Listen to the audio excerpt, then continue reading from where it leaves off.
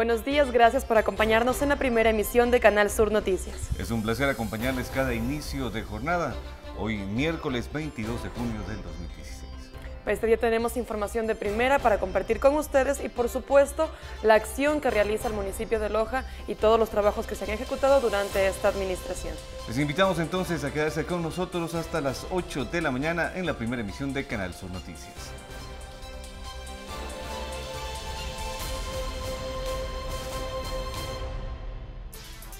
Nuevos rangos de velocidad de circulación vehicular vigentes en Loja tras aprobación de resolución municipal. Policía Municipal eh, controla la venta ambulante en los mercados de la ciudad, a pesar de la postura negativa de algunos ciudadanos. Conozca las vías alternas que puede utilizar para circular mientras se interviene en el proyecto de regeneración urbana.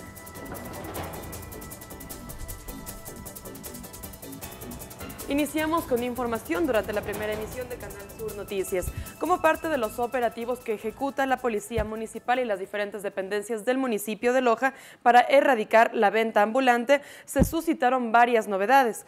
Mientras se realizaban los controles alrededor del mercado Gran Colombia, los vendedores informales agredieron a los miembros de la Policía Municipal y una persona resultó herida. Dentro de los operativos que realiza la Policía Municipal con la finalidad de disminuir la venta ambulante en los alrededores de los mercados de la ciudad. Varias de estas personas informales generaron el desorden en el mercado Gran Colombia. Arrebatados y armados, se levantaron en contra de la Policía Municipal dando como resultado uno de sus integrantes heridos. Ante ello, el jefe de Justicia y Policía, José Paulo Zuriaga, manifiesta. Los vendedores ambulantes sí lanzan piedras, ellos tienen palos y en la punta del palo incrustado clavos para el policía municipal. Y el policía municipal está haciendo cumplir la ordenanza, ya que si no controlan la gente de adentro no vende.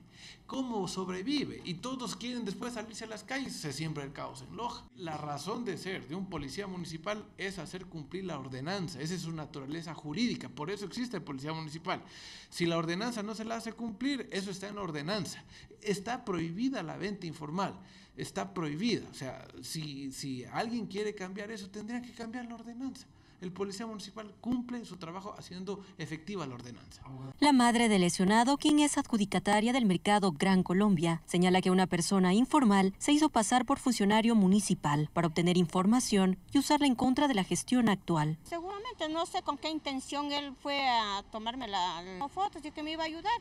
Y yo no sé si trabajaría en el municipio o no, pero no me dio ninguna credencial. Yo no sé con qué intención, porque ya yo no he vuelto más y a mí me han ofrecido bastantes, como le digo así, ayudarme. Indica también la importancia de realizar los operativos. Sí, porque cambio, cuando hay operativos nosotros sí vendemos adentro en los puestos, sí. El municipio de Loja, a través de sus dependencias, trabaja por el orden de la ciudad y el bienestar de sus habitantes. Muy bien, y esto seguramente nos llama la atención porque eh, el escándalo que se arma tras acontecimientos como estos eh, trata de sobredimensionar a la- las situaciones a como estas se dieron.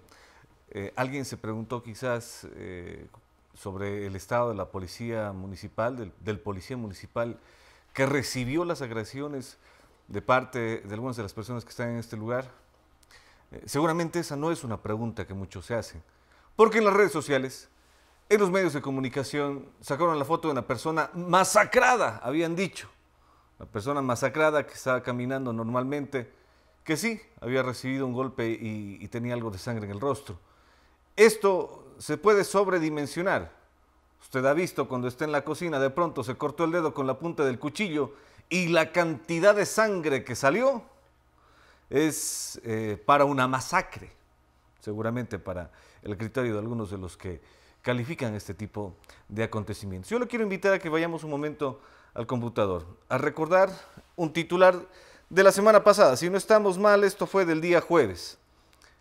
La carne se vende en loja a ras del piso, dice. O sea, en ciertos mercados y algunas ferias el municipio adopta medidas. El titular es escandaloso. Dice que en nuestra ciudad la carne se está vendiendo en las calles. Y claro, algunos vendedores informales asientan la carne sobre el piso. Y hay quienes compran esa carne. Obviamente el municipio realiza los controles. Entonces cuando va, el- mire, esto es lo que nos publica Diario La Hora. Esto nos publicó el día jueves o viernes, no estamos seguros. La carne se vende en Loja ras del piso. Entonces está diciendo que en Loja, no se, en Loja los vendedores informales realizan venta de carne en las calles. Y sí, hemos eh, tratado de controlar esto. Y cuando el policía municipal se acerca a solicitarle al vendedor informal, tenga la bondad, retírese, usted no puede realizar esta venta aquí, estas personas reaccionan violentamente. Al siguiente día, el titular no es policía municipal controla la venta de carne en las calles. Al siguiente día, el titular es policía municipal masacra a joven que defendía a su hermana. Ese es el titular que aparece en los medios de comunicación. Claro, el día anterior, ¿qué se dice? Que la policía no realiza controles de la venta informal. Al siguiente día, la policía municipal realiza los controles de la venta informal y el titular es joven es masacrado por parte de la policía municipal. Insistimos en un detalle. La policía municipal es la policía de respuesta en primer orden, eh, en, seguridad en la, en la ciudad. Luego de ellos, evidentemente, está la policía municipal, eh, perdón, la policía nacional ya en instancias eh, superiores y finalmente estaría la, eh, la fuerza pública, el ejército nacional. Cuando un policía trata de acercarse a solicitar que la persona se retire porque no puede realizar ese tipo de eh, actividad económica en el lugar, es agredido. Sí, literalmente es agredido. Es insultado, es vituperado, es escupido, es golpeado. En muchos casos estas personas, según lo que decía eh, hace un momento eh, el, jefe, el director de Justicia y Policía del municipio, tienen palos ya preparados con puntas de clavos en las, eh, o, o con clavos en la punta del palo. Y con eso golpean, con eso agreden. El policía municipal también está agredido. El policía municipal también está lastimado. ¿Y dónde están los titulares que digan policía municipal fue agredido por comerciante informal? Eso es lo que nos debe llamar a la reflexión en, estos momentos. Cuando vemos a personas que están agrediendo a la policía municipal porque están cumpliendo actividades que están fuera del marco eh, legal. Avanzamos con más eh, información. Por otra parte, eh, recordemos que otro de los temas que ha estado llamando mucho la atención durante estos días es el eh, tema de las palomas. Bueno, Las palomas, eh, la, presencia de palomas en nuestra ciudad resulta ser un atractivo muy bonito al ver sus animalitos caminando por las plazas, volando en, en, bandada cuando alguien se les acerca. Es un atractivo, sí, bonito se puede decir, pero si es que no es controlado, esto puede derivar en un problema de salud pública. Veamos detalles al respecto. La presencia de palomas en diferentes sectores de nuestra ciudad, como en plazas y parques, no solo que se ha convertido en un atractivo turístico para propios y extraños, como ocurre en otras urbes del país y del mundo entero, sino que también ha traído consigo una serie de problemas medioambientales, de salud, alimenticios y especialmente daños en edificios y mobiliario urbano, por cuanto los excrementos de estos animalitos causan la prematura corrosión y oxidación de algunas estructuras de metal u otros objetos, dañan la pintura de los vehículos y manchan las superficies donde se depositan las heces, esto es edificios iglesias, bancos, estatuas, monumentos, pisos, paredes y demás, así como también producen el deterioro de la piedra caliza, del cemento y del hormigón. Un caso específico se puede observar en las instalaciones del Estadio Federativo Reina del Cisne, donde las palomas han causado serios inconvenientes. Se forraron las estructuras por el motivo de las palomas, porque esos vienen y contaminan todos los asientos que están, dañan el asiento, dañan la estructura mismo de,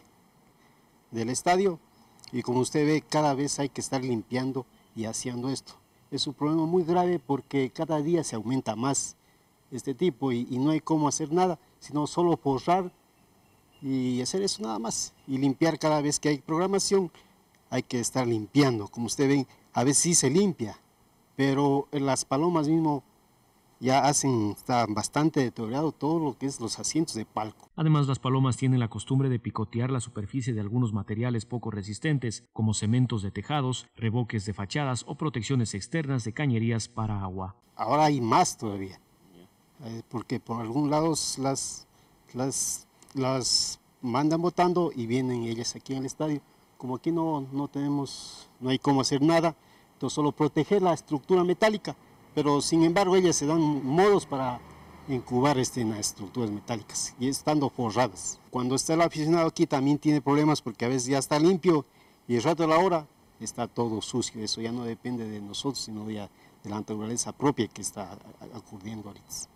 Las estructuras de madera también pueden verse dañadas por el desarrollo de hongos presentes en los excrementos de estos animales. Junto con la contaminación atmosférica, el incremento de las poblaciones de palomas se ha convertido en el mayor problema de los edificios históricos eclesiásticos de nuestra ciudad. Las palomas producen varias infecciones que se transmiten mediante los fluidos corporales de estas aves. Algunas de las enfermedades son tratadas en hospitales y clínicas. Las palomas son aves de costumbres monógamas que construyen sus nidos en campanarios, cornisas o en los aleros de los edificios, pero raramente en los árboles. Estos nidos por su parte alojan a piojos y en zonas rurales a otros insectos. Debemos estar conscientes que algunas enfermedades de las aves pueden ser transmitidas a los humanos a través de los excrementos de estas, aunque para la gran mayoría esto no es cosa seria. Este tipo de ave se conoce bien que generan bastante eh, lo que son aproximadamente 12 kilogramos de heces a nivel anual. Entonces, si eso es estimado por cada, por cada paloma, pues imagínense en, en relación al número de, de, esta, de, este, de estas aves.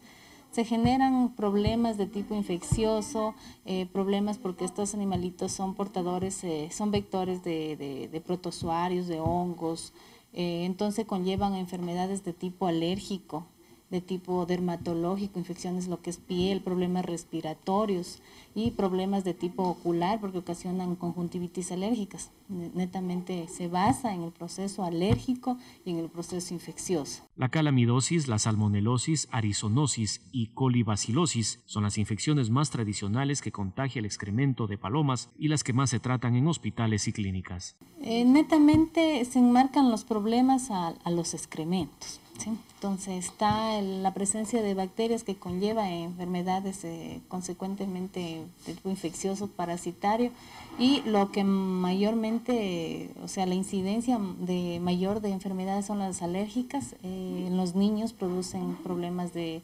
alergias atópicas o alergias de tipo también lo que es respiratorio o problemas de hongos en, en la piel. Entonces por eso se aconseja a la ciudadanía que tenga mucho cuidado con lo que es este el, el- el tener este tipo de animalitos porque encima la, la facilidad de reproducirse de los mismos conllevan a, a destrucción este, a- de las partes donde ellos este, pasan. La susceptibilidad individual y la seriedad de estas infecciones por microbios varía con la edad, estado de salud, estado inmunitario y aun cuando la intervención de terapia temprana es solicitada. Las personas que, que existen, sobre todo en el sector rural, las personas que tienen ya sus hábitats adecuados para los animalitos, pero no así en la ciudad. Y este virus ocasiona problemas respiratorios, entonces se, se llama más que todo a tener en cuenta para que no existan los problemas respiratorios que muchas de las veces se desconocen las causas o se las tratan en forma inadecuada, de- tomando en consideración que las, muchas de las veces se considera como un proceso infeccioso y se da antibiótico y no es así. Entonces, el identificar, el hacer una historia clínica detallada en donde se vea el lugar de vivienda, cómo, con qué animales este, está relacionado, entonces eso influye mucho. La clamidiosis, salmonelosis, encefalitis, esquina del este y tuberculosis aviar pueden ser enfermedades muy serias y aún de tratamiento de por vida. En breve continuamos con información que les anunciamos desde este instante para que usted esté atento. Medios de comunicación que reciben altas cantidades de dinero de parte de una institución pública en específico. Ya les contamos cuáles son. Por otra parte, continúa la restauración de la antigua casona a medida que avanzan los trabajos. El personal municipal encargado de estas labores detecta las deterioradas condiciones en las que se encuentra esta estructura. Conforme avanzan los trabajos de restauración, es más sorprendente lo que se descubre en la estructura de la antigua casona. El personal de la Jefatura Municipal de Centro Histórico cuidadosamente levanta la madera y se descubre el deterioro de la misma. En un recorrido por el sitio, pudimos constatar la destrucción en la que se encuentra el inmueble. Carla Rojas, jefa de Centro Histórico de la Municipalidad, nos relata algunos de los problemas encontrados en la edificación. Estamos eh, todavía en un proceso de auscultamiento. Eh, el momento en que nosotros retiramos los forros de madera, determinamos el avance del deterioro que tiene cada pieza. Pero por lo que nosotros se, ha podido ya determinar, eh, todas las columnas centrales que soportan esta portalería y esta soportalería están deterioradas. Así que eh, lo que se va a hacer es un cambio integral de todas las columnas. Que estas vigas de aquí, canecillos, están soportando este portal y están empotradas en el muro. Por tanto, no hay cómo retirarlas de una sola, hay que irlas retirando poco a poco, de una en una, y, reforzándolas estructuralmente. A eso es lo que me refiero, que esta intervención tiene que hacerla hacerla poco a poco, con mucho cuidado, y lógicamente tratando de precautelar este bien que es patrimonial. La situación es incluso hasta peligrosa, pues el personal municipal descubrió una de las pilastras de cemento que sostenía una de las columnas y se encontró litros de agua acumulada. Las imágenes son evidentes.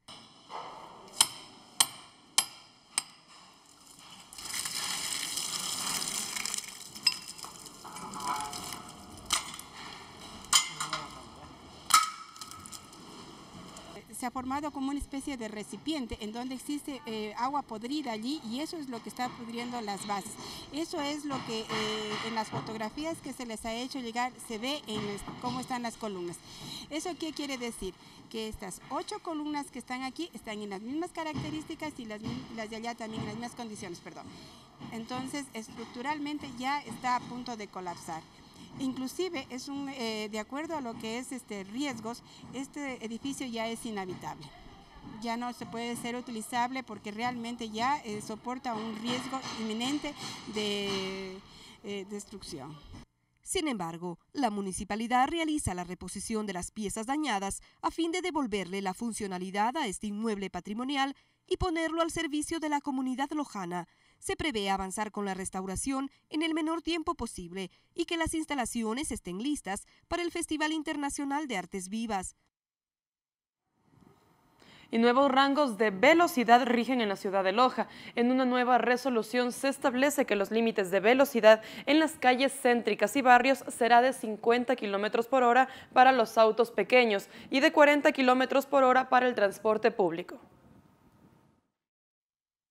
A partir del viernes 17 de junio, rige la resolución número 028-2016, emitida por la Alcaldía de Loja, en la cual se deroga la resolución 113, que establece los límites máximos de velocidad y los rangos moderados para vehículos públicos o privados, motos y transporte comercial que circulan en las vías urbanas de la ciudad. Porque de dónde acá se inventa el alcalde esto del margen de tolerancia.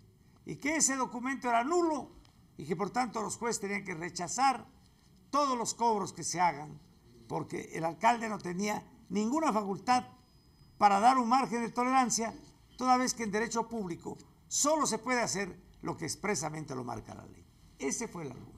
Frente a la validación que a esa argumentación le han dado varios jueces, he decidido derogar esa resolución alcaldicia y dar una nueva resolución por la cual nos atenemos irrestrictamente a lo que manda el artículo 190 y 191 del Reglamento General de la Ley Orgánica de Tránsito, Transporte Terrestre y Seguridad Vial.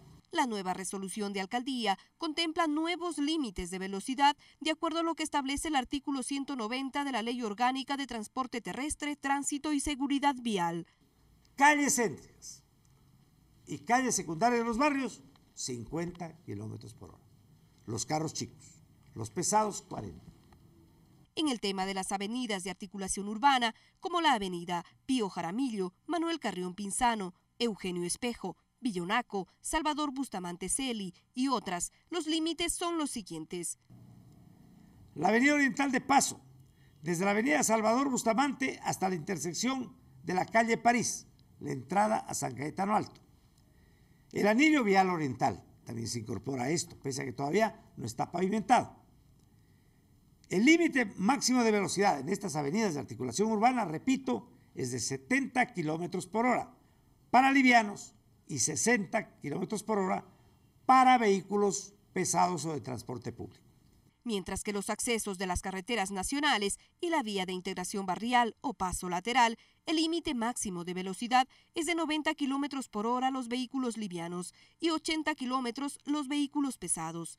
En cuanto al control de velocidad con fotorradares móviles, el alcalde de Loja manifestó. Y para los dos radares móviles, se ubicará a una distancia de 50 metros en adelante o en el cruce subsiguiente de calles o avenidas, un policía municipal de tránsito. Un policía municipal de tránsito que detendrá el vehículo que sobrepase el límite de velocidad y le entregará inmediatamente la correspondiente citación de multa. Mientras dura la intervención de la empresa constructora eh, que, lleva adelante el proyecto de la regeneración urbana, algunas vías han modificado el sentido en nuestra ciudad, esto con el fin de que se pueda facilitar el tránsito vehicular por aquellas que se han tenido que cerrar. Vemos eh, en el siguiente reporte cuáles son las que se han convertido en doble carril, cuál es la alternativa que usted tiene que utilizar si es que viene del sur de la ciudad y debe llegar al centro. Eh, si es que tiene que salir del centro de la ciudad para llegar al sur eh, a través de la eh, que recordamos la avenida Eduardo Kickman. Veamos detalles en la siguiente nota. Los trabajos de regeneración urbana son coordinados con la Unidad Municipal de Tránsito para la generación de vías alternas que permitan a los ciudadanos conectarse con los diferentes puntos de la ciudad. Wilson Jaramillo, responsable de la dependencia, nos explica cuáles son las vías que los conductores deben tomar desde la parte sur de la ciudad. Para los vehículos que circulan por la avenida Emiliano, eh, eh, perdón, por el Eduardo Kingman, en sentido de sur a norte. En la actualidad está cerrado el tramo comprendido desde la calle Máximo Agustín Rodríguez hasta la Gonzanamá, para lo cual es necesario eh, coger dos desvíos. El uno que lo podemos hacer eh, yendo en contravía por la calle Máximo Agustín Rodríguez o también por Eduardo Kiman en sentido eh, de circulación de norte a sur, en este caso está en contraflujo y que nos permite realizar estos desvíos. Esta es la Máximo Agustín Rodríguez. Estamos yendo también en contraflujo. Está autorizado realizar este tipo de, de recorrido con la finalidad de poder eh, también eh, permitir la fluidez de los vehículos que circulan desde la parte sur de la ciudad a través de la avenida Eduardo Kigman. Mientras que en la parte oriental, con la intervención de la calle 24 de Mayo, la ruta para el transporte público es la siguiente se han realizado los desvíos correspondientes, especialmente en lo que tiene que ver al servicio de transporte público, siendo así que la línea 10 que recorre desde Sauces Norte hasta la Argelia está desviando su recorrido por la avenida Emiliano Ortega, la que en actualidad se encuentra 100% eh, habilitada.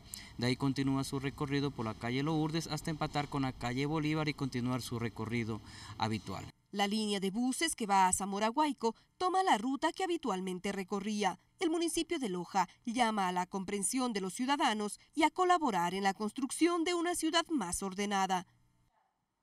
Los trabajos del proyecto de regeneración urbana se desarrollan de acuerdo a la planificación. La empresa contratista trabaja en la calle 24 de Mayo, en la avenida Eduardo Kigman y en la calle Gonzanamá. Por otro lado, en la avenida Emiliano Ortega se concluyen con las obras de ornamentación. Los trabajos de regeneración urbana continúan de conformidad a los cronogramas establecidos. Es así que la empresa constructora realiza el cambio de los sistemas sanitarios en la avenida 24 de Mayo, desde la calle 10 de agosto hasta la Miguel Río Frío, indica Enrique García, director del proyecto. Hemos iniciado ya los trabajos por tramos en la avenida Emiliano, eh, perdón, en la avenida 24 de Mayo.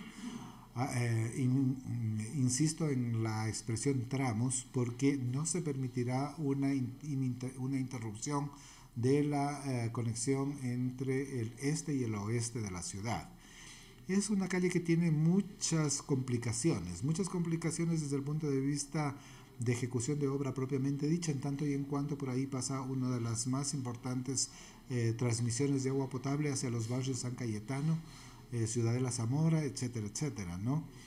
Y que eh, es independiente de la red propiamente que da el servicio de agua potable a esos sectores. Otro de los puntos que se interviene es la avenida Eduardo Kigman y la calle Gonzanamá, en donde se cumplen tareas importantes relacionadas al cambio de los sistemas de agua potable por parte de la UMAPAL y las obras que involucra la regeneración urbana. El sector sur de la ciudad, en cambio, nosotros estamos avanzando también con un trabajo que es bastante complicado porque existen a través de la avenida Emiliano, eh, perdón, Eduardo Kingman, eh, a través de la avenida Eduardo Kingman y la calle Gonzanamá, ¿no? dos redes de transmisiones de agua potable hacia los barrios, en cambio, del sur eh, oeste de la ciudad, la Tebaida, la Argelia y todos los sectores que se encuentran en ese sector. Son dos um, transmisiones de 315 milímetros de diámetro que tienen que conectarse a su vez con un trabajo que posteriormente lo desarrollará la UMAPAL y que une la avenida Kingman con la planta del Pucará. No, entonces son trabajos sumamente complejos, delicados, porque no hay cómo suspender eh, el, servicio de agua potable a vastos sectores de la ciudad.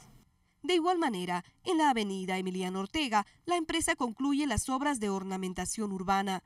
La construcción de aceras eh, ya se, colocará, se están colocando todas las esperas correspondientes para eh, lo que será a futuro la iluminación, lo que es la semaforización y lo que es seguridad ciudadana se están ya colocando todos estos elementos de espera y em, se ya dará eh, acabados definitivos, especialmente en lo que se relaciona a la avenida Emiliano Ortega, que tiene un acabado muy particular en cuanto a sus aceras, donde utilizaremos un porcelanato antideslizante de diferentes colores. Los eh, trabajos que van a realizarse en la cancha de uso múltiple en el sector del panecillo tienen que ver con el mejoramiento de estas instalaciones. Tendrá una duración aproximada de 45 días e iniciaron el pasado 15 de junio. Esta obra fue solicitada por los moradores del sector. La obra municipal avanza conforme lo establecido, es así que otro de los varios beneficiados con el trabajo es el panecillo donde el municipio de Loja realiza el arreglo de la cancha de uso múltiple del lugar mediante la colocación de una capa de hormigón de 7 centímetros. Primero que todo el municipio aquí lo que quiere hacer es incentivar el deporte y la cultura. Por ello se va a hacer una capa de hormigón a toda la cancha. Se va a utilizar el mismo hormigón que está aquí como base, ya que no está en tan mal estado, así que se va a utilizar el mismo hormigón y el, escenario se lo va a mejorar, se lo va a pintar, se le va a hacer la pinta de las gradas y a mejorar todo lo que es la, la fachada del, del escenario. Eso, el pintado también contempla el pintado de los de los arcos y el pintado de los ah, de los aros para incentivar el deporte, todo esto. Los trabajos tendrán una duración de 45 días e iniciaron el pasado 15 de junio del año en curso. Estarán a cargo de la empresa constructora Conrojas Mar y ascienden aproximadamente a 16 mil dólares. Sí, eso nosotros le estábamos pidiendo este, al doctor para el caso de que el arreglo de lo que es de la cancha, todo eso, para que los jóvenes hagan el deporte. Y igual con la ayuda del, del doctor y en esta administración, porque nos han ayudado para el arreglo de la cancha. Sí, sí, han venido administraciones anteriores, pero igualmente no han tenido el, mantenimiento respectivo de, de la cancha. Ahora que estamos pues, en la gestión y se ha hecho ya realidad pues, el arreglo de nuestra cancha. Esta obra fue solicitada por los moradores del sector el año próximo pasado, cuando hizo su paso por el barrio la posta cívica de la localidad. Es un barrio muy, muy, muy organizado, eh, las fiestas religiosas también son importantes, he tenido el gusto de estar aquí presente y en verdad el tema cultural es bastante fuerte aquí en este sector, además de que tiene un- una bonita mirada a la ciudad, eh, eventos deportivos, culturales y religiosos, lo que más se maneja acá, es un barrio bien organizado y, y qué gusto, por, contento por el barrio que esta obra ya se esté realizando en este año. Mediante el departamento correspondiente de la municipalidad se efectuará la reubicación de las luminarias respectivas. Y el subdirector del CERCOP y el alcalde de Loja se reunieron este martes para abordar importantes temas, entre ellos la necesidad de la celeridad en los procesos de adquisición de materiales para la ejecución de proyectos que beneficien a la ciudadanía. Los procesos de adquisición fue uno de los objetivos de la reunión que mantuvo el alcalde de Loja, doctor José Bolívar Castillo, con la directiva del Sistema Nacional de Contratación Pública, CERCOP. Según manifestó la primera autoridad municipal, existen obstáculos en los procesos de adquisición de los materiales para los proyectos que benefician a la ciudadanía, como el Plan Maestro de Agua Potable, entre otros. precisamente para enfrentar toda esta campaña eh, de obstáculos, de medidas destinadas a frenar, a obstaculizar la ejecución de proyectos fundamentales de Loja. Abajo tengo en el vestíbulo municipal publicada la carta famosa mandada a la CAF y al CERCOF, tratando de frenar, por un lado, la terminación del plan maestro de agua, por otro lado, la ejecución del proyecto de regeneración urbana, y por otro lado, frenando todo lo que pueden frenar, porque parece que el gran obs- objetivo es eh, impedir que quien ha recibido del pueblo un mandato pueda ejercerlo. Entonces, para eso se unen minorías del más diverso y distante carácter ideológico con un solo objetivo, que es bloquear, impedir, paralizar, no dejar hacer las cosas. Entonces, a mí me pueden robar la plata, que yo sé que la plata se la repone trabajando, pero lo que no me pueden robar es el tiempo. Nosotros necesitamos hacer las cosas con la celeridad que se debe.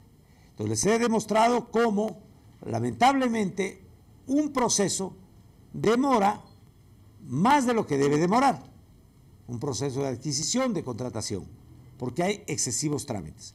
Hemos coincidido con los directivos del CERCOP de que aquí la pelotita está en ambos lados.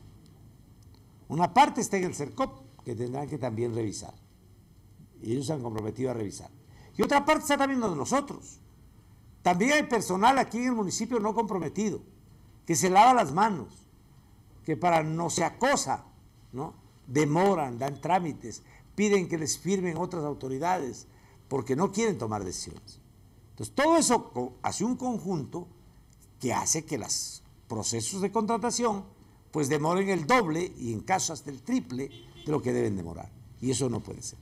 Hemos llegado a acuerdos muy concretos eh, con el señor economista, subdirector nacional del CERCOP, ¿no? para precisamente poder asegurar que trabajemos con la eficiencia y la celeridad necesaria en la ejecución de los proyectos.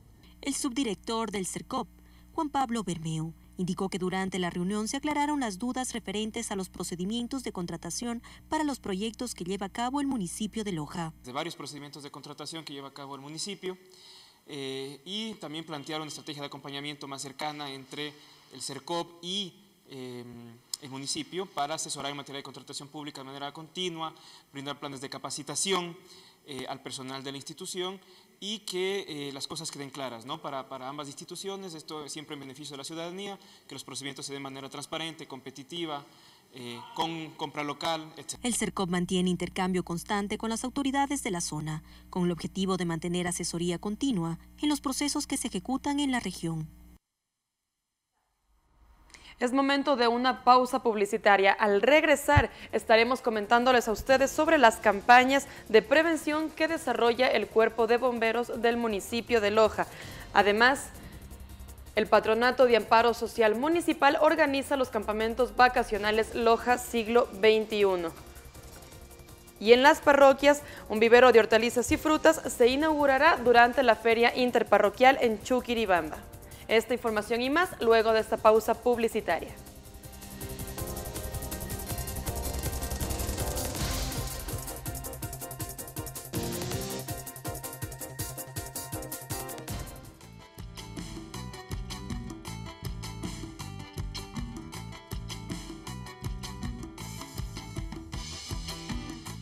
De espacio publicitario.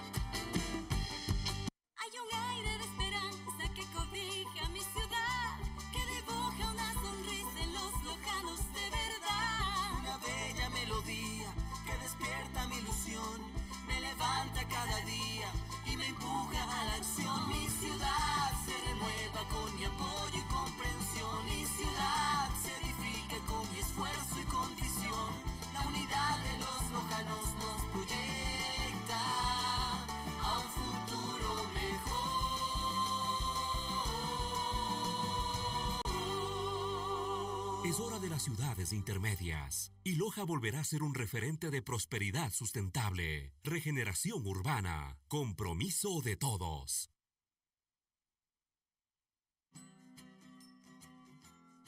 Arrancó la jirafatón que acerca a los nuevos miembros de la gran familia del Bioparque Orillas del Zamora. Estas dos jirafas nacieron en cautiverio en los Estados Unidos. Juntos podremos traerlas y brindarles un nuevo hogar con las mejores condiciones y en el entorno adecuado. Participa en la jirafatón y lleva tu aporte a las ánforas autorizadas, ubicadas en plazas, parques, mercados, ferias libres y puntos de recaudación municipal. O a la cuenta de ahorros 8500721664 del Banco Internacional a nombre de Mónica Mora y Belén Cueva. Tu contribución acerca nuestras jirafas a Loja. Ayúdanos a pasar la voz. El municipio de Loja pone a su disposición los siguientes puntos de recaudación. Administración Central. De lunes a viernes de 8 a 18 horas, los sábados de 8 a 13 horas. Distrito Norte y Sur. De lunes a viernes de 8 a 17 horas. Mercado Centro Comercial. De lunes a viernes de 8 a 16 horas. Mercado Gran Colombia. De lunes a domingo de 8 a 18 horas. Terminal Terrestre. De lunes a viernes de 8 a 18 horas. Relleno Sanitario. De lunes a viernes de 8 a 16 horas. Vivero Municipal. De lunes a viernes de 8 a 13 horas y de 15 a 18 horas. Sábados y domingos de 9 a 17 horas. Parque Jipiro. Frente a Solca. Lunes a viernes de 8 a 13 horas y de 15 a 18 horas. Centro de Matriculación Vehicular. De lunes a viernes de 8 a 16 horas. Centro Comercial Don Daniel. De 10 a 13 horas y de 15 a 19 horas. Sábados de 10 a 15 horas. Realice sus pagos en los puntos más cercanos y evite aglomeraciones en el centro de la ciudad. La seguridad de tu familia no es un juego. No te expongas. No te expongas. Toma en cuenta estas recomendaciones sobre el manejo de gas de uso doméstico. No recibas cilindros con fugas o en malas condiciones. El maltrato a un cilindro es peligroso. No lo ruedes por las calles. Instala el cilindro de forma vertical en un lugar ventilado y a 3 metros de la cocina. Personal calificado debe instalar tu calefón a gas en un lugar ventilado. Cada dos años cambia la manguera y cada cuatro el regulador. Si percibes olor a gas, evita cualquier llama o chispa. Abre puertas y ventanas para ventilar el lugar y llama inmediatamente al E EQ 911. Si vas a viajar, cierra las llaves de la cocina y el regulador. Nunca dejes que los niños jueguen con ninguno de estos artefactos. Protege a tu familia. No te expongas. No te expongas. Es un mensaje del Cuerpo de Bomberos del municipio de Loja. Mi mejor amigo vive conmigo. Él tiene su espacio para jugar y ser feliz. Cuando me tarde en darle de comer, se pone a ladrar. Su alimento le encanta. Cuando le doy de comer, come con muchas ganas. Una vez al mes le gusta bañarse. Le encanta oler rico. Mmm, cuido su salud y su seguridad. Cuando lo saco a pasear, lo llevo con su collar. ¡Ah! Y también le llevo la bolsa para sus desechos. Si mi mascota está feliz, yo también estoy feliz. Porque mi mascota es mi responsabilidad. Y tu mascota es tu responsabilidad. No la abandones. Alcaldía de Loja. La única definición de lo que somos es lo que hacemos.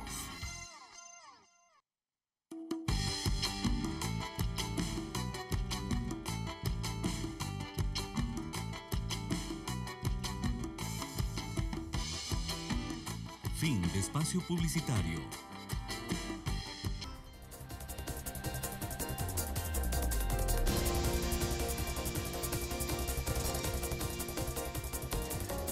En su ejercicio como fiscalizador del gobierno provincial de Loja, ya que eh, al ser alcalde de nuestra ciudad también se convierte en consejero provincial, el doctor José Bolívar Castillo dirigió una carta a la principal autoridad de la Secretaría de Comunicación e Información Supercom para que se aclaren los siguientes eh, detalles. Vemos en pantalla precisamente eh, esta información de conformidad, dirigida, como, vemos en pantalla, al licenciado Carlos Ochoa, quien es superintendente de la información y la comunicación.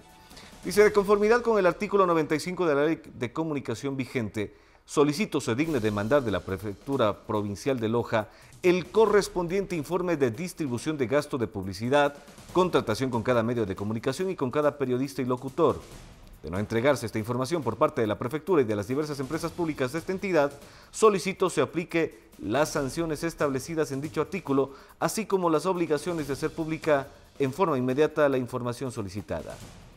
Esta petición la hago como ciudadano gravemente afectado por el asedio mediático que aplican sobre mi accionar público y privado los comunicadores que son los profesionales beneficiarios de estos contratos, como es el caso del doctor Lenin Paladines, doctor Freddy Aponte y licenciado Edgar Fabián Coronel, los mismos que han dado muestras permanentes de odio y discriminación contra mi persona. Esta solicitud la hago también como consejero provincial por cuanto es necesario que mis representados en la Cámara Provincial conozcan cuál es el destino de los principales gastos que se realizan con el presupuesto de esta entidad pública, convertida lamentablemente ahora en instrumento de acción política electoral. Debo indicar señor superintendente, que mi intención la realizo por cuanto me siento gravemente afectado por una campaña de linchamiento mediático que no reconoce límites y que estas medidas debieron ser adoptadas de oficio por parte de la superintendencia, que no es un juzgado, sino una instancia de intervención para hacer cumplir la ley orgánica de comunicación, firmado por el doctor José Bolívar Castillo, alcalde de Loja. ¿A qué se refiere esto en específico? Bueno, el tema es el siguiente. Las eh, personas que acabamos de nombrar en este oficio que fue dictado por el señor alcalde mantienen contratos con el gobierno provincial de Loja, contratos de publicidad. Contratos que en algunos casos ascienden a 5.400 dólares. No sé si podemos ver en imagen, es una captura de pantalla de información que está publicada eh, precisamente en la página del CERCOP, a la que los ciudadanos pueden acceder con total eh, libertad. Y vemos, por ejemplo, en imágenes eh, subrayados nombres como el de Lenin Bolívar Paladines Salvador, en el espacio del noticiero meridiano, el radio La Hechicera. El contrato es, no sé si alcanzamos a ver, el contrato de Lenin Paladines Salvador, A ver, sigamos avanzando. Contratos eh, bastante onerosos. ¿Quién más aparece en esta lista de contratar? De, es de 3 mil dólares. Fíjese usted, 3 mil dólares. Un contrato de publicidad con el gobierno provincial de Loja. Es el primero de los casos. Un noticiero que, como hemos escuchado en horas de la mañana, también vemos el noticiero de Freddy Vidal Aponte con Radio Zapotillo. ¿A cuánto asciende este contrato? Nos preguntamos. Servicio también de publicidad institucional de Freddy Vidal Aponte. El contrato asciende, como ustedes ven en pantalla, a 4.800 dólares. 4.800 dólares. El contrato con el licenciado Edgar Fabián Coronel de Radio Lechicera para el noticiero Meridiano. Con el gobierno provincial asciende a 5.400 dólares. 5.400 dólares, escúchese bien. Eh, podemos continuar por acá. Es bárbara la situación que vemos eh, en, este, eh, en estos reportes. Es la carta que ya leímos hace un momento, podemos ya continuar con acá en, pantalla. Vemos contratos que llegan en unos casos a 3 mil dólares, en otros casos a 4 mil 800 dólares, en otros casos a 5 mil 400 dólares. La, la, pregunta es, eh, ¿tanto? ¿Sí? ¿Tanto se va en publicidad de parte del gobierno provincial? A noticieros específicos que tienen horarios específicos con periodistas que constantemente se han dedicado a hablar de la administración, no precisamente cosas positivas. Ha sido dedicados a eh, destruir de alguna forma el accionar de la actual autoridad y durante meses hemos escuchado a los opositores tener micrófono abierto en estos medios de comunicación. Lenin Salvador Paladines, 3 mil dólares. Edgar Fabián Coronel, 5.400 dólares. En el caso eh, de Freddy Vidal Aponte, 4.800 dólares. Son coincidencialmente medios de comunicación que también son los principales receptores de la publicidad estatal. También son auspiciados por la franquicia en Loja. Los hemos visto constantemente con ataques y agresiones en este lugar. Si usted es opositor al alcalde, tendrá la puerta abierta acá para poder decir lo que usted quiera. Y eso lo hemos visto constantemente. Pero, por ejemplo, hoy a las 10 de la mañana que se realice la rueda de prensa del alcalde de Loja, seguramente no los veremos aquí. Constantemente están atacando a esta administración, pero nunca los vemos en las ruedas de prensa, nunca los vemos en los eventos, Nunca los vemos en ninguna de las convocatorias que realiza la alcaldía de Loja. Pero sí vemos contratos, como para Lenin Paladines de 3 mil dólares, para Fabián Coronel de 5 mil 400 dólares, para Lenin Paladines de 4 mil 800 dólares. En uno de estos medios de comunicación, específicamente Radio Lechicera, sumando los tres contratos que mantienen eh, con los dos noticieros en publicidad general, asciende casi a los 10 mil dólares con un solo medio de comunicación, 10 mil dólares en publicidad del gobierno provincial de Loja. Vamos avanzando con más información y que con el objetivo de que la ciudadanía esté preparada para enfrentar cualquier emergencia, el Cuerpo de Bomberos Municipal de Loja desarrolla campañas de prevención durante todo el año. Actualmente se ejecuta una orientada a la prevención de incendios forestales e inundaciones. Varias campañas preventivas desarrolla el Cuerpo de Bomberos Municipal. Luis Santos, comandante operativo, se refiere al tema. Primero empezamos con las campañas de accidentes por los por las fiestas de carnaval. Luego vamos con las campañas sobre el invierno, el verano. Incluimos en esta vez y casi todo el año lo que es eh, el, cómo, cómo, qué, cómo actuar en caso de un terremoto, qué hacer. Luego terminamos nosotros con lo que es los juegos pirotécnicos. Las campañas se desarrollan mediante capacitaciones en entidades educativas y públicas, en medios de comunicación y redes sociales. La prevención de inundaciones es una de las campañas. ¿Qué hacer durante una inundación? Usted vive cerca a un río, ¿cómo puede usted actuar durante? o qué hacer antes, durante y después.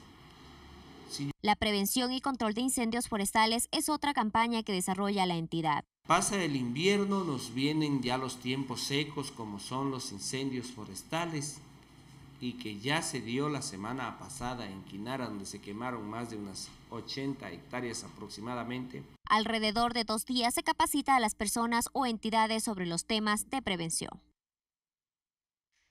Nuestro compañero Israel Guarnizo, como todas las mañanas, nos tiene ya información que se genera en la central de monitoreo del municipio de Loja. Contigo, Israel, continuamos de inmediato. Buenos días. Gracias, eh, buenos días eh, amigos eh, televidentes, compañeros, amigos oyentes de Radio Municipal. En este día miércoles, mitad de semana, iniciamos esta jornada con nuestro reporte habitual desde la central de monitoreo y pasamos a revisar de inmediato lo que sucedió en estas últimas horas en nuestra ciudad. Inmediaciones del Parque San Sebastián, jóvenes estudiantes, unidad educativa experimental, entendemos Bernardo Valdivieso por los uniformes que, están portando los eh, estudiantes. Cerca de las 18 eh, horas 46 minutos se registra esto en eh, las inmediaciones, insisto, del Parque San Sebastián, del Parque de la Independencia. Dos jóvenes protagonizan una riña, una pelea. El resto de jóvenes sirven de límite para una aparente rin. Vean ustedes, ¿ah? Dos jóvenes ahí intervienen esto fue reportado debidamente a la Policía Nacional, indicando que esto estaba sucediendo entre dos jóvenes que estaban enfrentándose en eh, el interior del Parque San Sebastián. Van a ver ustedes ahí, la cámara también los registra lo que sucede a esa hora y pues eh, continúa la riña, la pelea entre estos dos jóvenes, entendemos, de la unidad educativa Bernardo Valdivieso. Esto asumimos por los colores de los uniformes, se les hizo el seguimiento correspondiente. Vean, uno de los luchadores, de los pugilistas, es el que eh, pues se porta una camiseta eh, pues, eh, de la unidad educativa. Vean ustedes, ahí va. Realmente una situación que se ha venido pues, replicando en los parques de nuestra ciudad veíamos eh, en, reportes anteriores cómo en las inmediaciones del Parque Bolívar se daba una ah, riña eh, entre jóvenes estudiantes de diferentes unidades educativas eh, y mm, esto fue reportado a la Policía Nacional y de inmediato pues fueron detenidos estos jóvenes. Acá se actuó de la misma manera, los dos jóvenes estaban enfrentando, las personas que circulaban por ese sector tuvieron que pues emprender eh, rápidamente la salida del lugar y esto hay que mencionar, se reportó a los efectivos de la Policía Nacional para que procedan a detener a estos eh, jóvenes y sean integrados a sus padres. Así que esto es lo que se registró en estas últimas horas desde la central de monitoreo que trabaja las 24 horas para video vigilar la seguridad de los eh, lojanos y de las lojanas. Así es. Bien, Vamos a revisar lo que eh, sucede a esta hora de la mañana en eh, diferentes sectores. Observamos en la 24 de mayo y Víctor Vivar, sector de La Pileta, así lo conocemos todos, sector de La Pileta, en donde ya se está registrando las 24 horas, insisto, lo que sucede en este, en este sector. 24 de mayo y Víctor Vivar, de acá se puede observar la prolongación de la calle 24 de mayo y se puede observar también lo que pasa en las eh, calles, en las transversales, en la Víctor Vivar. De igual forma, observamos lo que está sucediendo en la calle 18 de noviembre y Rocafuerte, en los exteriores del centro comercial Loja. Ahí ven ustedes en la calle 18 de noviembre, la circulación es fluida a esta hora de la mañana. Vamos a observar el túnel también que da el ingreso por la calle Rocafuerte. Los jóvenes estudiantes ingresando eh, pues, al centro de la ciudad para ir principalmente a las unidades educativas. Vemos también que portan prendas de vestir adecuadas para la baja temperatura que está azotando pues a la olla lojana. Es lo que se registra en estas primeras horas de la mañana. De igual forma, hay que mencionar que estamos registrando ya con otras cámaras en los exteriores del Coliseo Ciudad de Loja. Es lo que estamos observando a esta hora de la mañana en la calle Brasil. Ayer hacíamos precisamente un reporte desde el puente de este sector, la Brasil, y donde inicia ya la calle Celica. Tenemos la avenida Manuel Carrión Pinzano. Todo esto lo que sucede a esta hora de la mañana, vean, una gran cantidad de vehículos. Esta es una arteria vial importante. Ahí seguramente tenemos la presencia de los efectivos de la Policía Municipal de Tránsito. Luego usted puede tomar ya, cruzando el puente, la avenida Universitaria. Es lo que sucede a esta hora de la mañana en los exteriores del Coliseo Ciudad de Loja. Es eh, el informe que nosotros les presentamos a ustedes, amigos televidentes, amigos oyentes de Radio Municipal. En el sector céntrico de la ciudad podemos observar que no existe mayor movimiento, es fluido todavía a esta hora de la mañana, sin embargo cuando se acerca la hora pico, seguramente pues el, eh, tráfico vehicular será mayoritario. Es lo que eh, pues nosotros podemos informarles desde la central de monitoreo con estos eventos que se han registrado pero debemos informarles a ustedes que acá se trabajan las 24 horas del día, se han incrementado adicionalmente al tema de las paradas del sistema intermodal de transportación urbana, también se han incrementado otras cámaras en diferentes sectores estratégicos de la ciudad, como el parque eh, pues, eh, Jipiro, el tema del zoológico eh, municipal, el sector de la pileta y otros sectores importantes. Así que el trabajo continúa y pues la seguridad eh, de los ciudadanos se lo realiza también desde la central de monitoreo con el sistema de videovigilancia. Este es el informe que les presentamos en esta mitad de semana, día miércoles. Compañeros, ustedes con más en esta primera emisión de Canal Sur Noticias. Adelante, buenos días. Buenos días Israel, muchísimas gracias por la información. Cambiaron de ring, vemos a los jóvenes, ya no fue esta vez el Parque Bolívar, ahora se cambiaron a otro escenario, fue en la Plaza de San Sebastián. Ya es tiempo de que las autoridades de los establecimientos educativos involucrados tomen medidas. Estas, estos videos se encuentran en la central de monitoreo del municipio de Loja, se encuentran en la central ECU 911, ahí pueden ser solicitados por las autoridades, me imagino, bueno, realizando el trámite respectivo, con el fin de identificar a los estudiantes de las instituciones públicas que ellos dirigen, que son los responsables de, estas, estos hechos. Ahora, no vendrán pues con que eh, es que fue fuera de clases, es en horario fuera de clases, lo que pase fuera del aula no es responsabilidad nuestra porque ya están camino a sus casas. Momento, están con el uniforme y están eh, representando pues a la institución pública, a la institución educativa, así que hay que tomarlo en consideración. Vamos con más.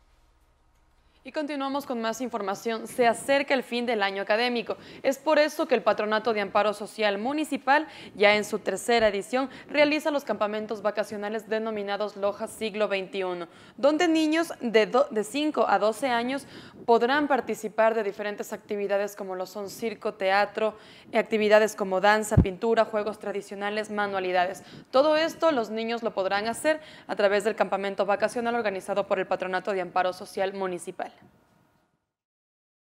Este 27 de junio inician las inscripciones para el campamento vacacional Loja Siglo XXI hasta el 6 de julio. Se deberá presentar una copia de la cédula de identidad y cancelar el valor de 35 dólares en las instalaciones del Patronato de Amparo Social Municipal de Loja. Nosotros les entregamos todo el material que necesitan, eh, todo lo, que es el instrumental y todo lo que, lo que se requiere para cada una de las para cada una de las eh, actividades que vamos a realizar ahí en el campamento. Los niños de 5 a 12 años de edad podrán ser parte de este proyecto, quienes podrán aprender danza, baile moderno, manualidades, pintura, fútbol y otros, según expresa Wilmer Carpio, coordinador de proyectos del patronato. Pintura, juegos tradicionales, educación ambiental, eh, turismo, baile moderno y danza.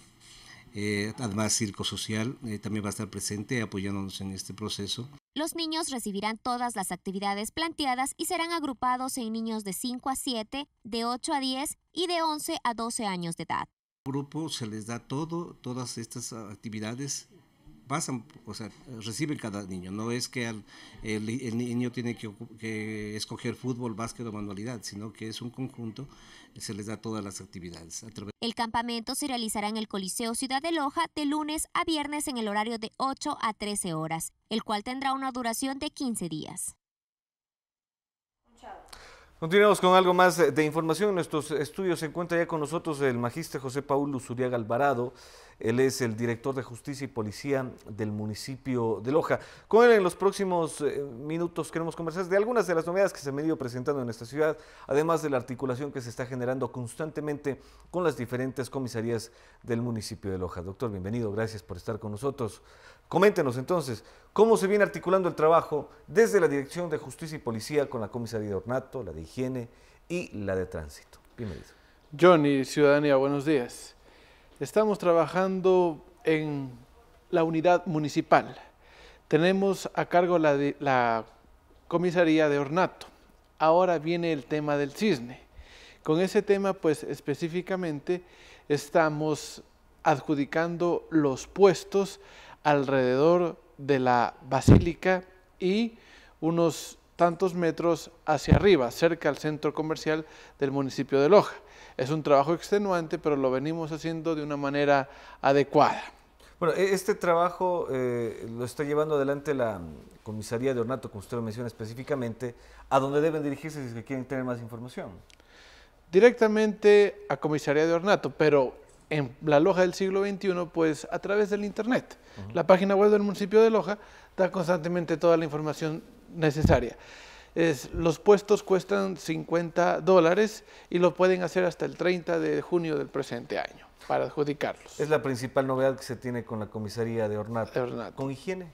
Con higiene. Seguimos en los controles de las ventas informales, seguimos en el control de los beodos, es decir, los borrachitos consuetudinarios en vía pública, seguimos pues con el control del expendio de productos alterados, caducados y también viendo las pesas y medidas en los diferentes mercados y tiendas de abarrotes de la ciudad. Es un trabajo extenuante que se lo hace, repito, en mercados, ferias libres inclusive, control de carne sin eh, la debida, el ticket de faneamiento, la cadena de frío, todo eso controlamos sobre todo fines de semana y también de lunes a viernes en los centros de abasto popular.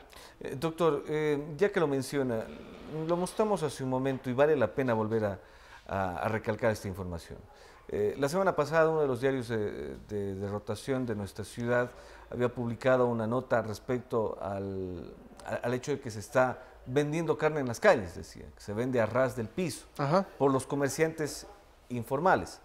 Ahora bien, hay un trabajo que se viene desarrollando por parte de la comisaría eh, de higiene y, y de la policía municipal, que es el control precisamente de la venta informal el día, este fin de semana, se realizó control de venta informal y eh, los comerciantes informales eh, reaccionaron de forma agresiva. Al siguiente día en los medios de comunicación la publicación era de que eh, Policía Municipal masacra a, vendedor informal.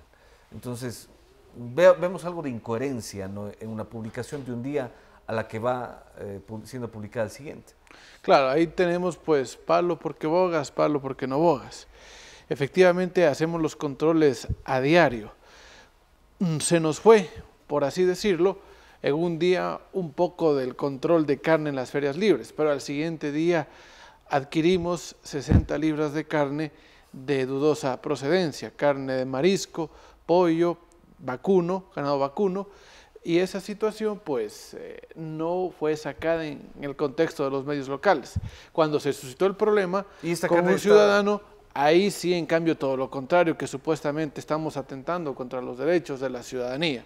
Esto es una situación de que hacemos, critican, no se hace tal vez por algún descuido logístico del momento, que no se avanza a acaparar todos los frentes, igual hay una situación Siempre de crítica. Siempre hay una cámara que está lista para hacer la toma de una fotografía o de un video sí, para, hablar en, contra. Pero eso es malintencionado. Pero la ciudadanía de Loja es muy inteligente y sabe indicar que eso no es así. Nosotros hemos aclarado en todos los contextos las cosas como son. Cuando tenemos fallas las reconocemos.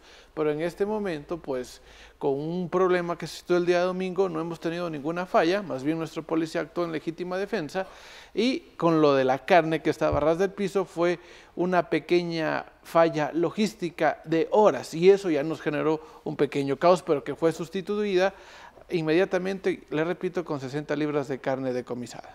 Bueno, y esos 60 libros de, de carne decomisada vale la pena aclarar no es que se le está quitando el trabajo a la gente, se le están quitando el modo de vivir.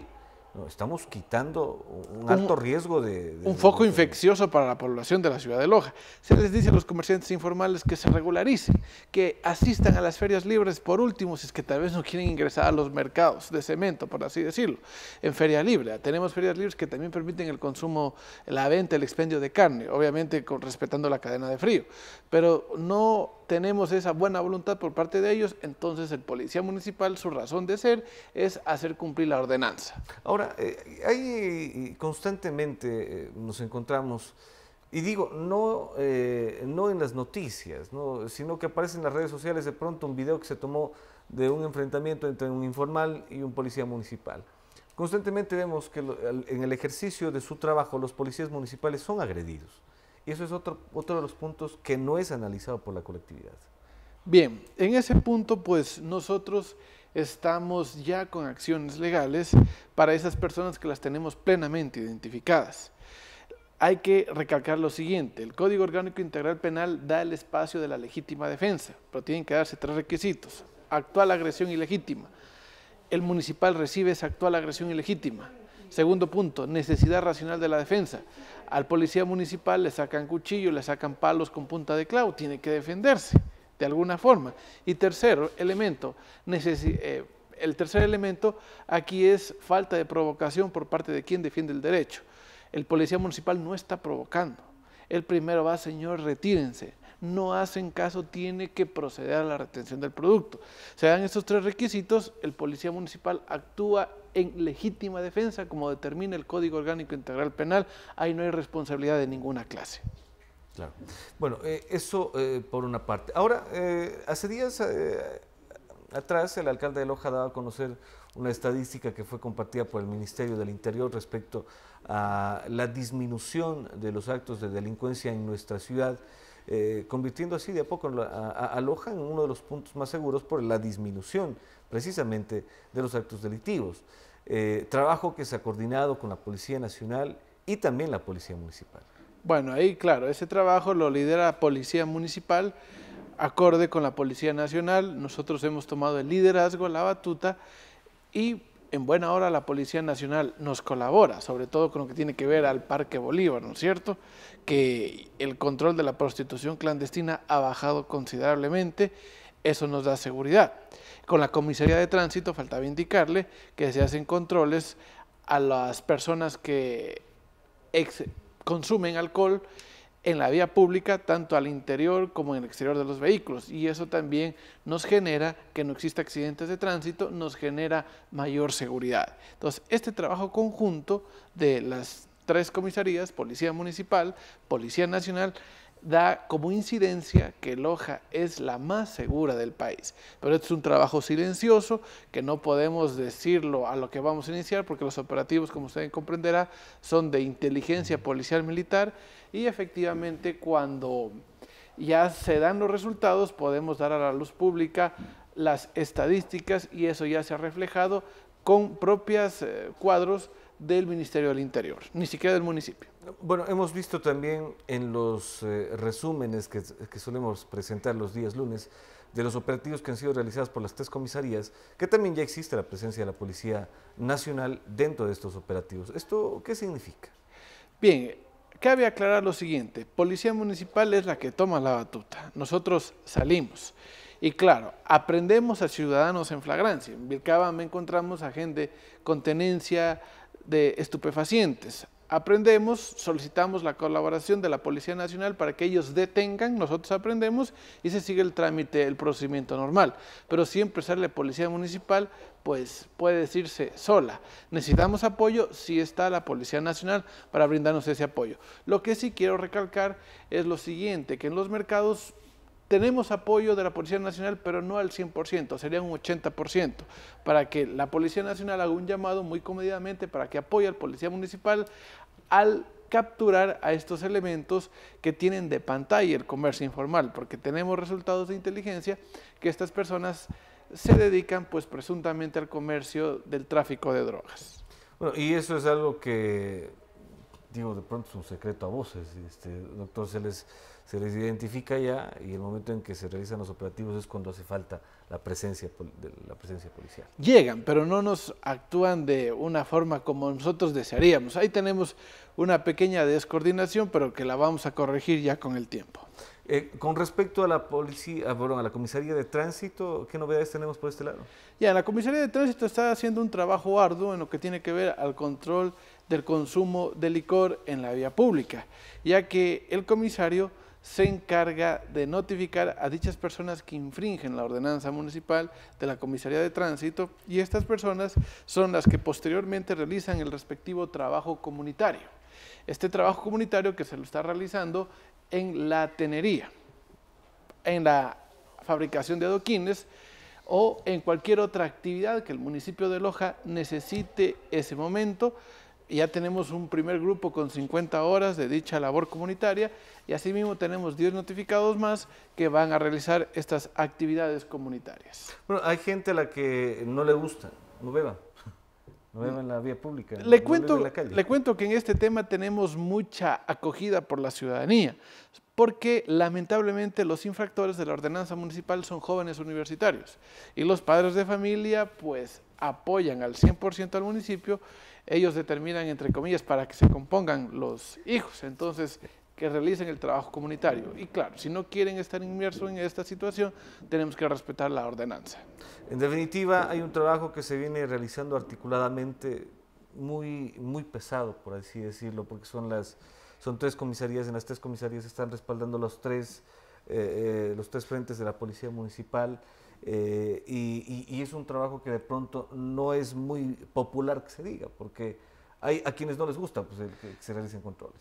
Para nada popular, más bien es antipopular porque hay un rechazo de la ciudadanía, de los malos elementos de la ciudadanía, desde luego, los buenos elementos aplauden en nuestra actuación, pero nosotros estamos no para caerle bien a la mayoría de la ciudadanía, sino para hacer cumplir la ordenanza, para que se genere el respeto hacia la norma local que es la ordenanza. Estamos para eso y con mucho sacrificio, con mucho amor, trabajamos para la ciudad de Loja hasta que el tiempo lo determine. Doctor, si tenemos alguna denuncia que deba ser realizada a través de estas tres comisarías, ¿cuál es el, órgano regular a seguir? Directamente, aquí estamos sin trámites administrativos. Cualquier denuncia la pueden hacer verbalmente a las comisarías o si no también a través del sistema web del municipio de Loja. Directamente, entonces, hay la denuncia y actuamos de inmediato. Si vemos que es un poco de mayor gravedad el asunto, pedimos los datos y claro, para que nos dejen una constancia por escrito. Por eso, si es una situación que, por ejemplo, tal discoteca tiene abierto más allá de las 2 de la madrugada, verbalmente, verbalmente, pues acudimos, obviamente, no podemos decir cuándo por motivos de inteligencia policial, pero acudimos. Perfecto, muchísimas gracias. La presencia en nuestros estudios del magíster José Paulo Zuriaga Alvarado.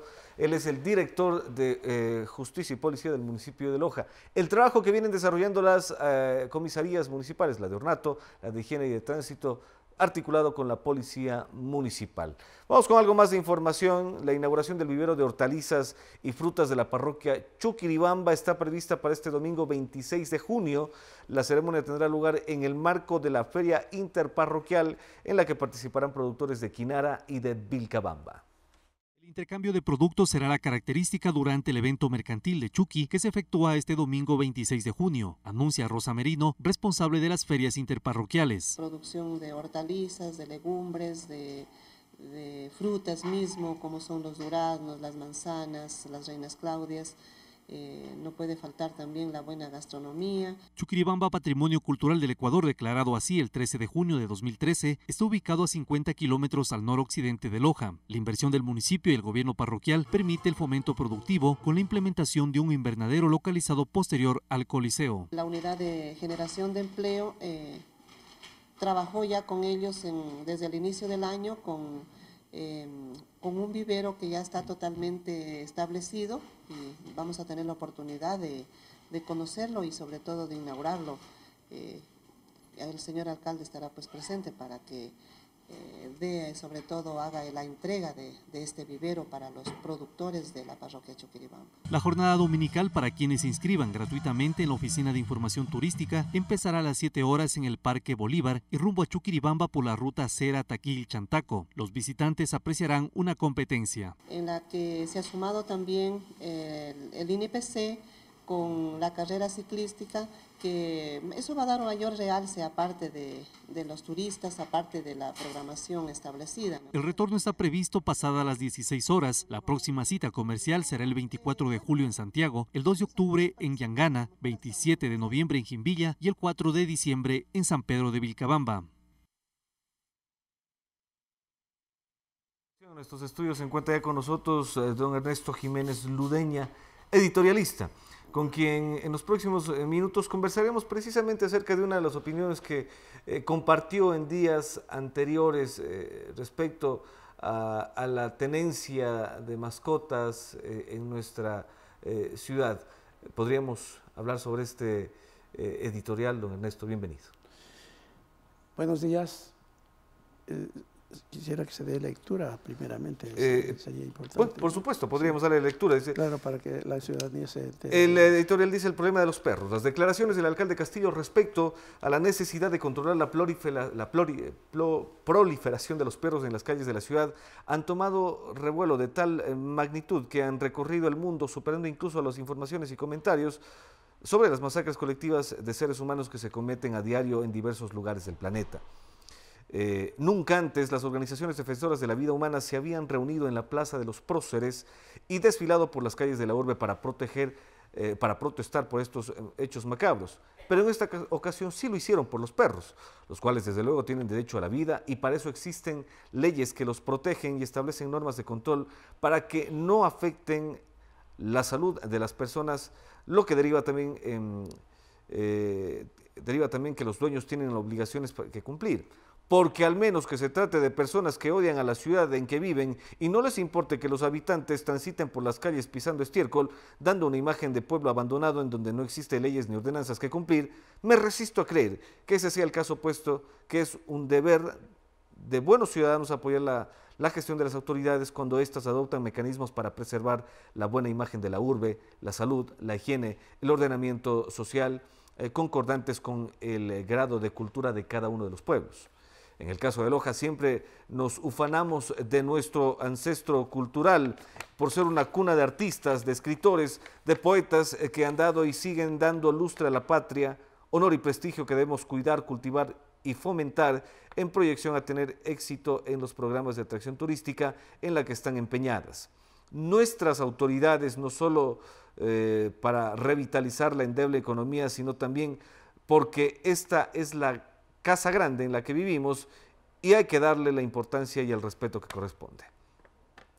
Apenas, desde luego, que por la iniciativa del alcalde de mejorar la imagen de la ciudad erradicando el estiércol de los perros diseminado por todas las calles de la urbe, personas enfermas por el odio personal se hayan aprovechado de la ocasión para lanzar su fobia con expresiones grotescas que hieran y denigren el prestigio cultural de los lojanos, valiéndose de los medios eh, de más avanzada tecnología. Pienso que una de las grandes virtudes del hombre son el manejo mesurado de sus propios actos enmarcados en el análisis y el diálogo para resolver los conflictos.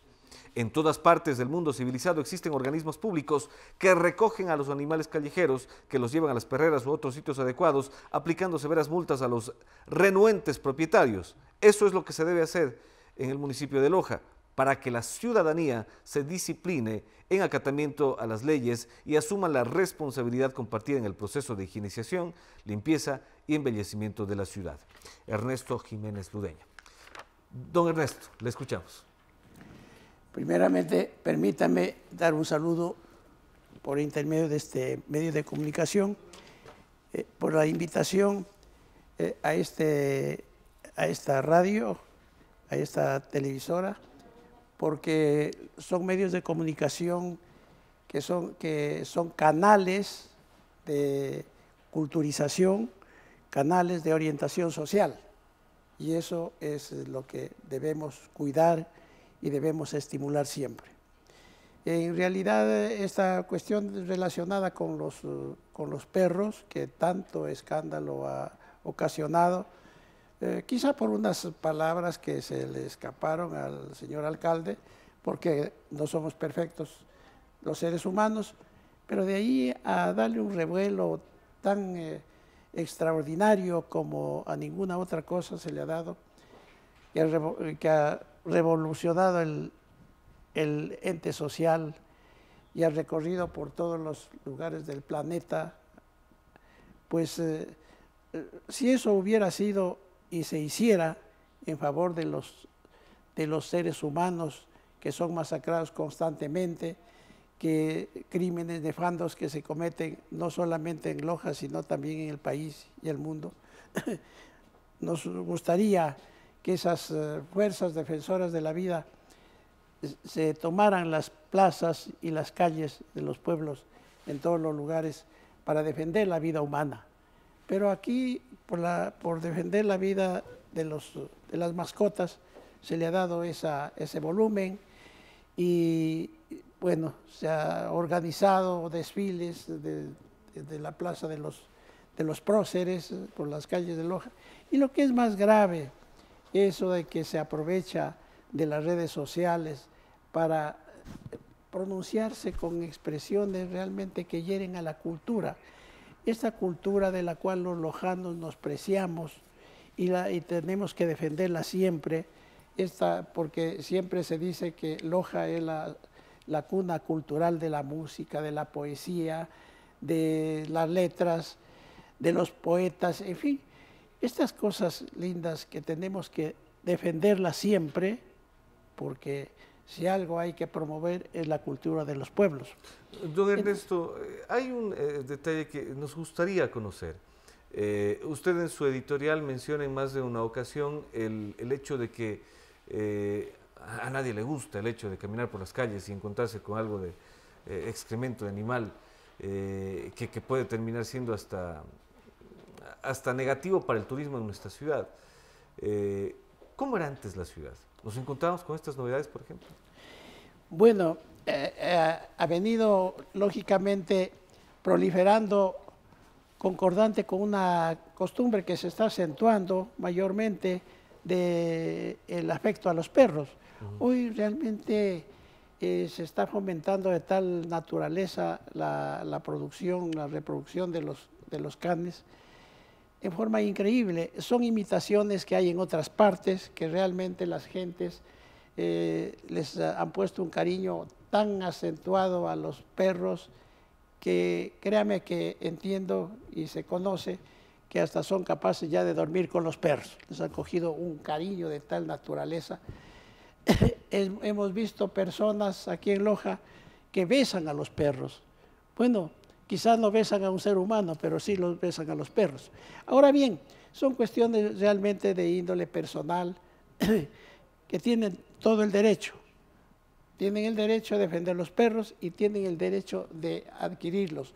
Pero los ciudadanos y ciudadanas que hacen eso, pues se supone que tienen también una responsabilidad que cumplir como es aquello de actuar de acuerdo a, lo que eh, conviene, pues ellos tienen derecho de tener, por ejemplo, los perros en sus casas, de asearlos, en fin, porque hay que... De ser responsables. De ser responsables, porque hay que pensar que también son animales que, que producen enfermedades, contagian enfermedades, son animales que recogen microbios en las calles. Entonces todo eso tiene que ver, pero bueno, allá cada cual. Ahora bien, pero tienen que defender, tienen que asear, tienen que asumir esa responsabilidad, tenerlos en sus casas si tienen los espacios adecuados, darles de comer incluso en la mesa, pueden hacerlo, son libres, es cuestión de recursos, es cuestión de condiciones, ¿no es cierto? Pero cuando salen a las calles tienen también esa responsabilidad de asumir esas personas, llevar sus mascotas. Yo planteaba en alguna ocasión que deben ir con sus fundas, ponerle las fundas a las mascotas para que no hagan sus necesidades en, las calles y plazas de la ciudad. O recogerlos. o recogerlos y tener esa y no tener esa forma, digamos, hay personas, hay ciudadanas con mascotas que lo llevan al lado hasta los puestos de trabajo y ahí lo sueltan a propósito para que vayan a hacer sus necesidades. ¿Qué tenemos entonces como resultado? Tenemos una ciudad que realmente da pena y preocupa enormemente calles y veredas llenas de estiércol que los ciudadanos, los transeúntes tienen que ir, que van despreocupados, van pisando eso. No puede ser. Estamos hablando de una ciudad de cultura, estamos hablando de defender la cultura de nuestro pueblo y eso no puede ser permisible. Entonces, entonces, entonces, tiene que haber una, una, un ordenamiento. Hay, hay una, ordenanza municipal que tiene que hacerse la valer de, de que se controle eso. En todas partes del mundo hay los, los perros, sí, hay las mascotas, pero también existen las, eh, las perreras públicas que las recogen las autoridades y llevan allá los perros. Entonces, eso tiene que hacerse. Y también, pues, cuando no acatan las ordenanzas los ciudadanos, tienen que ser sancionados con multas, lo que quiera que sea, porque hay que educar al pueblo. Hay que sembrar ese sentido de responsabilidad frente a las leyes, porque eh, pueblo que no tiene leyes, que, en donde no se obedece las normas eh, legítimamente establecidas, pues es un pueblo que se convierte en caos. Entonces aquí estamos, estamos buscando fomentar el turismo. ¿Qué le ofrecemos al turismo? ¿Cómo, cómo, ¿Qué presencia, qué imagen le damos de aloja al turista que venga pues a visitarnos si tiene solamente estiércol por, por cada paso de las calles de Loja? Muchísimas gracias, eh, don Ernesto Jiménez Ludeña, yo editorialista, que en sus palabras finales nos dice. Yo quiero terminar esta cuestión, primeramente haciendo conciencia de que cada cual, cada ciudadano asumamos la responsabilidad que nos corresponde. Pero quiero aprovechar también esta oportunidad para pedirle al señor alcalde dos cosas. La una, que siga haciendo la gestión que la viene haciendo muy bien en favor de Loja, como es aquello de la, de la del mejoramiento, del ensanchamiento de la vía Loja-Catamayo, si es posible, con el túnel propuesto. Y segundo, que no se olvide de hacer la gestión que viene haciendo por años desde su primera administración de aquel planteamiento de la, de la vía interoceánica, que sería el canal de mejoramiento para Loja, porque ahí vendría un turismo eh, vigoroso, es la única solución que tiene Loja, es el turismo porque aquí no hay industrias, su situación geográfica no le permite. Pero esas obras sí son, algo que podría dejarnos de recuerdo a las generaciones el señor alcalde Castillo, porque las obras quedan y los hombres pasan. Muchísimas gracias, don Ernesto Jiménez Ludeña, editorialista, nos está acompañando respecto a su opinión eh, que trataba el tema del cuidado de las mascotas. Nos vamos a una pausa publicitaria. Al regreso estará con nosotros el teniente coronel Patricio Vaquero. Enseguida venimos con más.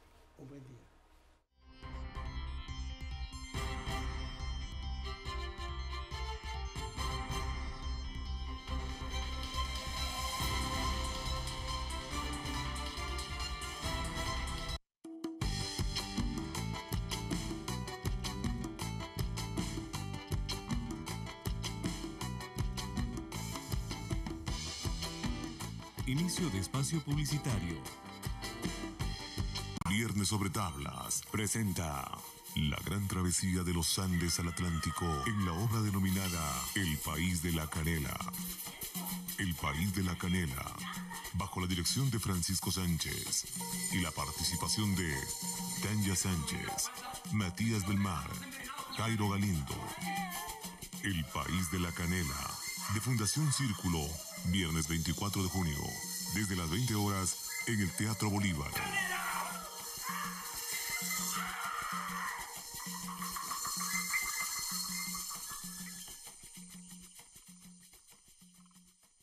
El Centro Materno Infantil Municipal es felicidad. Aquí encuentra atención inmediata con profesionales capacitados en las áreas de ginecología, pediatría, servicio de farmacia, laboratorio, radiología, odontología, ecografía, neonatología, fototerapia, incubadora, ventilador mecánico, cuna de calor radiante y todo lo relacionado al cuidado de nuestros hijos. Atención de lunes a viernes de 7 horas 30 a 12 horas 30 y de 14 horas a 17 horas. Y en el área hospitalaria los 365 días del año. Si se trata de salud, cuente con nosotros. Centro Materno Infantil Municipal.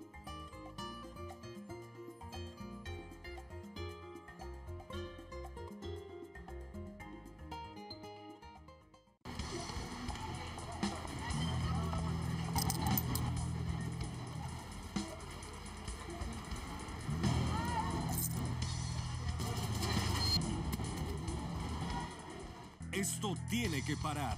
Comprar en la calle pone en riesgo tu salud y la de tu familia. Compra en los mercados municipales, donde encuentras calidad, seguridad, espacios limpios y ordenados, parqueaderos, productos frescos y la sonrisa de la caserita con la garantía de que siempre te esperará en el mismo lugar con tu descuento y yapa. Mercados municipales, limpios, seguros, ordenados y nuestros. Los moradores del barrio San Pedro y el municipio de Loja tienen el grato honor de invitar a la culta ciudadanía lojana a celebrar las festividades en honor a San Pedro. Una manifestación de fe que une a los locanos. 19 de junio, inicio de la novena y procesión por las principales calles del barrio. Martes 28 de junio, gran concurso de danzas folclóricas en el Parque Memorial de la Música. Y por la noche, gran presentación artística cultural con la participación de la rondalla municipal. Y para bailar, la orquesta Son Especial. Miércoles 29 desde las 9 horas. Santa Eucaristía de festividades. Ven a vivir la tradición en las fiestas de San Pedro. Ser un conductor responsable depende de mí. Hoy aprenderemos algo muy interesante sobre leyes de tránsito. Código Orgánico Integral Penal COIP, Contravenciones de Tránsito. La persona que conduzca un vehículo cuyas llantas se encuentren lisas o en mal estado será sancionada con pena privativa de libertad de 5 a 15 días y disminución de 5 puntos en la licencia de conducir. En caso de transporte público, la pena será el doble de la prevista en el inciso anterior. La persona que conduzca un vehículo bajo los efectos de sustancias estupefacientes o psicotrópicas será sancionada con reducción de 15 puntos de su licencia de conducir y 30 días de privación de libertad. Además, como medida preventiva se aprenderá el vehículo por 24 horas. Conducir un vehículo en estado de embriaguez será sancionada de acuerdo con la siguiente escala. Si el nivel de alcohol por litro de sangre es de 0,3 a 0,8 gramos, se aplicará multa de un salario básico unificado, pérdida de 5 puntos en su licencia de conducir y 5 días de privación de libertad. Si el nivel de alcohol por litro de sangre es mayor a 0,8 hasta 1,2 gramos, se aplicará multa de dos salarios básicos, pérdida de 10 puntos en su licencia de conducir y 15 días de privación de libertad. Si el nivel de alcohol por litro de sangre supera el 1,2 gramos, se aplicará multa de tres salarios básicos, la suspensión de la licencia por 60 días y 30 días de privación de la libertad. Para los conductores de vehículos de transporte público liviano o pesado comercial o de carga, la tolerancia al consumo de cualquier sustancia estupefaciente, psicotrópica o preparado que las contenga es cero y un nivel máximo de alcohol de 0,1 gramos por cada litro de sangre. Para más información visita nuestra página web loja.gov.es y no olvidemos que la responsabilidad vial depende de mí. Este es un mensaje de la Alcaldía de Loja.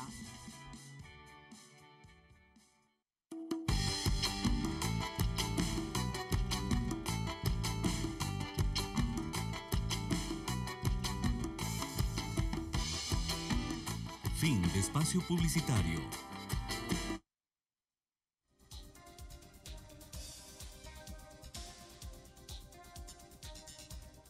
Nuestro compañero Israel Guarnizo viene a continuación. Antes, les anunciamos, luego del, vivo que tenemos, estará con nosotros el teniente coronel Patricio Vaquero, jefe de operaciones de la Policía Nacional de la subzona Loja 11. Vamos con eh, información. Nuestro compañero Israel Guarnizo se encuentra en un punto, eh, por así decirlo, importante de nuestra ciudad, donde se está eh, generando las mayores variaciones del tráfico vehicular de acuerdo a la intervención de la regeneración urbana. Nos referimos a la avenida Eduardo Kigman y la Amalusa.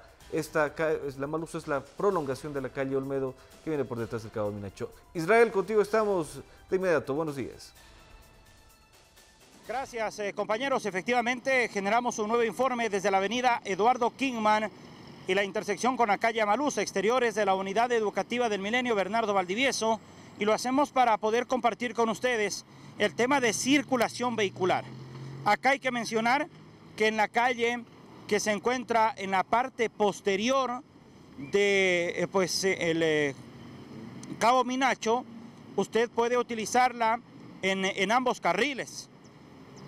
Inicialmente solamente se podía acceder desde el parque infantil en una sola vía hasta conectarse acá a la avenida Eduardo Kingman, en donde también en esta nueva calle de la unidad educativa Bernardo Valdivieso lo podían hacer regularmente. Sin embargo, hoy esta calle, como ustedes pueden observar en imágenes, usted puede circular en eh, eh, doble vía.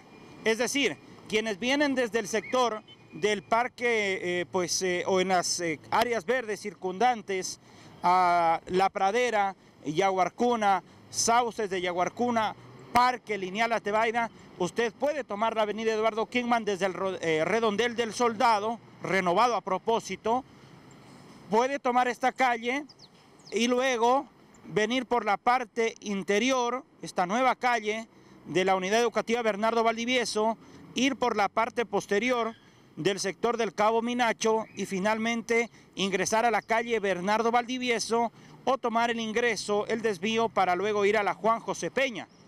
Son las alternativas que ustedes tienen.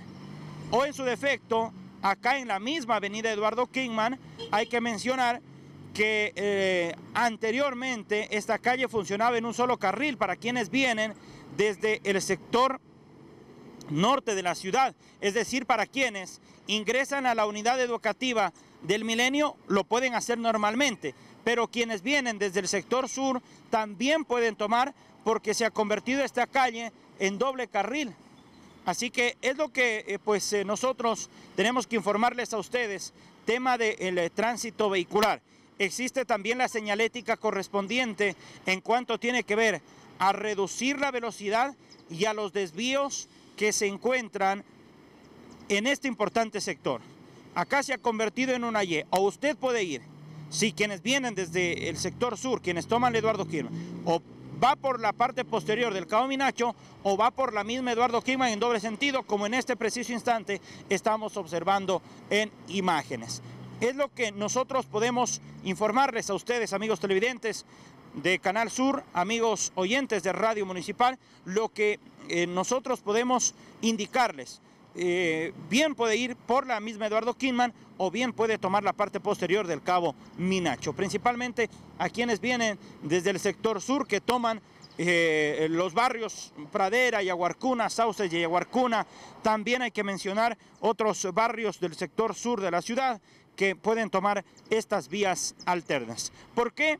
Porque existen y hay que tener la comprensión de vida alrededor de los trabajos que se realizan en el proyecto de regeneración urbana, que a propósito vemos una gran cantidad de maquinaria que está trabajando a lo largo de la avenida Eduardo Kingman, en el sector oriental de esta avenida. Y es lo que em, eh, realmente se registra. Adicionalmente queremos mencionar que acá existe la presencia de efectivos de la Policía Municipal de Tránsito que eh, trabajan de forma coordinada tanto en la intersección de la calle Malusa como en la intersección de la calle Catamayo.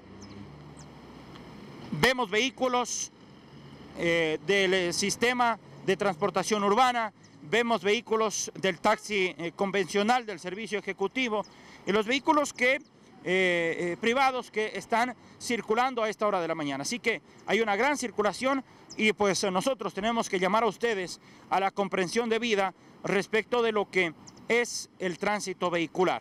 Tener un poco de paciencia, pero lo que debemos indicarles a ustedes es de que se trabaja de forma intensa con sistema de semaforización, con la presencia de los efectivos de la Policía Municipal de Tránsito, con el sistema de video, eh, de videovigilancia, es decir, se ha armado pues eh, todo un eh, sistema alrededor de lo que es este sector nodal importante de la ciudad, pero que se genera una gran circulación vehicular. Tenemos varias alternativas y también se está trabajando intensamente con lo que les acabo de mencionar. Efectivos de la Policía Municipal de Tránsito, sistema de semaforización, señalética horizontal y vertical y además de esto el sistema de videovigilancia. Este es el informe que les presentamos, intersección de la avenida Eduardo Kingman y Amalusa, en donde los exteriores de la unidad educativa del Milenio Bernardo Valdivieso hay una circulación importante de vehículos, pero que hay que llamar también a la comprensión de los usuarios. Este es el informe que les presentamos en esta jornada de día miércoles en la primera emisión de Canal Sur Noticias. Compañeros, ustedes con más.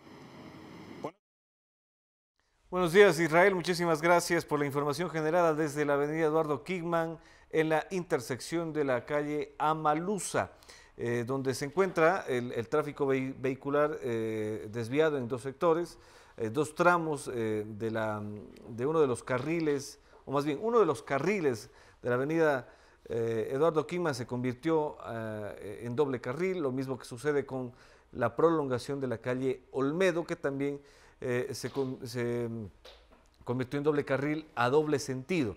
Estos lugares son los que permiten el tráfico vehicular con mayor eh, normalidad, eh, si se quiere, desde este sector hacia el centro de la ciudad y viceversa.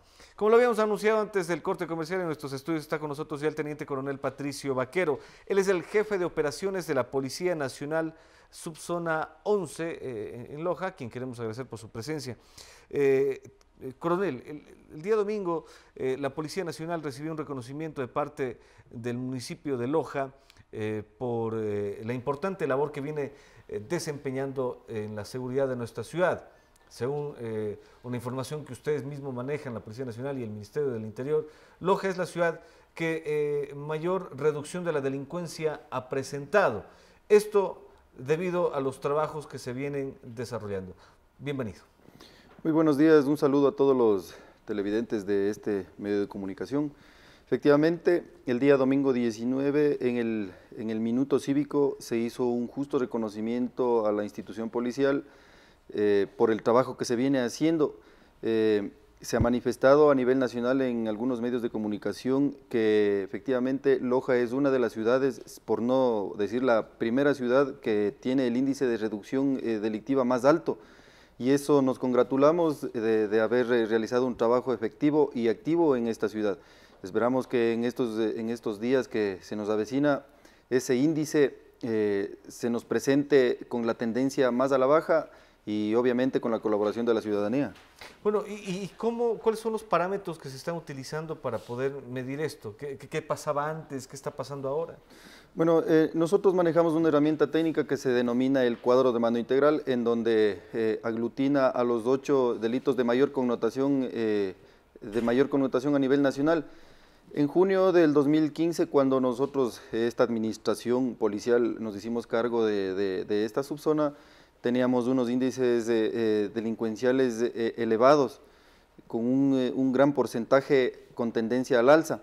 Se realizaron algunas estrategias dentro de, nuestra actividad policial, lo que nos ha permitido eh, hoy, en la actualidad, a junio del 2016, estar con tendencia a la baja. Manejamos nosotros eh, esta herramienta que tiene tres colores o, los colores denominados del semáforo, el rojo, el amarillo y el verde. El 2000, por tales, el 2015 teníamos eh, todo este cuadro de demanda integral teníamos con, en color rojo, que nos indicaba que estábamos en alerta. Pero a junio del 2016, con corte al, 16 de junio, tenemos ya todos estos indicadores en verde. Eso quiere decir que la tendencia es a la baja. Obviamente, ¿Ni siquiera en amarillo? No tenemos en amarillo, ni siquiera en amarillo tenemos, sino en, verde, lo que quiere decir que nuestros indicadores están con tendencia a la baja. Obviamente este trabajo se, articula con diferentes instituciones, se articula con diferentes oficinas mismo de la policía y aplicando algunas estrategias estrategias que nosotros las hemos aplicado aquí en la ciudad de Loja. Eh, por ejemplo, hablemos entonces, ¿cuáles son los, los delitos que han ido disminuyendo eh, e, en nuestra ciudad? ¿Qué era lo que teníamos más eh, frecuente antes y cuál es la realidad actual? Mire, nos sentimos contentos ya que el año 2015 estábamos dentro, dentro del ranking que maneja la policía internamente, dentro de los 20 circuitos ranqueados como más conflictivos a nivel nacional. Es, es, motivo de orgullo y felicidad para nosotros indicar que a partir de enero del 2016 estamos fuera de ese ranking. Eso nos ha permitido eh, eh, continuar con nuestras estrategias y saber que estamos por el camino correcto. Por citarle un ejemplo, a junio, eh, a mayo hemos terminado en robo a personas con 51, con 51 eventos en el 2015. En robo a personas, en mayo hemos terminado con 31 eventos. Esto quiere decir que hay una reducción importante en números absolutos y obviamente eh, eh, en porcentaje, obviamente de un 25%. Y al hacer el cálculo y la suma de los ocho eh, delitos de mayor connotación, tenemos una reducción a nivel de, a nivel de su zona de casi del 41% en relación al 2015. Obviamente esto es un trabajo, como le digo, articulado con las diferentes instituciones, con las diferentes eh, eh, organizaciones de administración de justicia y la Policía Nacional. Eh, coronel, hay que aclarar un detalle. la gente a veces, cuando se presentan índices como eso, hay, siempre habrá, habrán personas negativas que dirán, pero yo vi un asalto un día. el hecho de que se haya disminuido no significa que se ha dejado en cero. Todavía se presentan situaciones como estas eh, robos a casas, eh, asaltos eh, a personas. esto se, se, sigue dando, pero ha disminuido en nuestra ciudad. Obviamente, indicadores internacionales indican que de acuerdo a la situación social que vive una u otra, uno u otro estado o ciudad o país, va a ser definitivamente imposible eliminar la delincuencia o dejarla en cero. Lo que pretendemos nosotros es minimizar al máximo todos los riesgos que sufren los ciudadanos en torno a, que se cometan o no índices delincuenciales.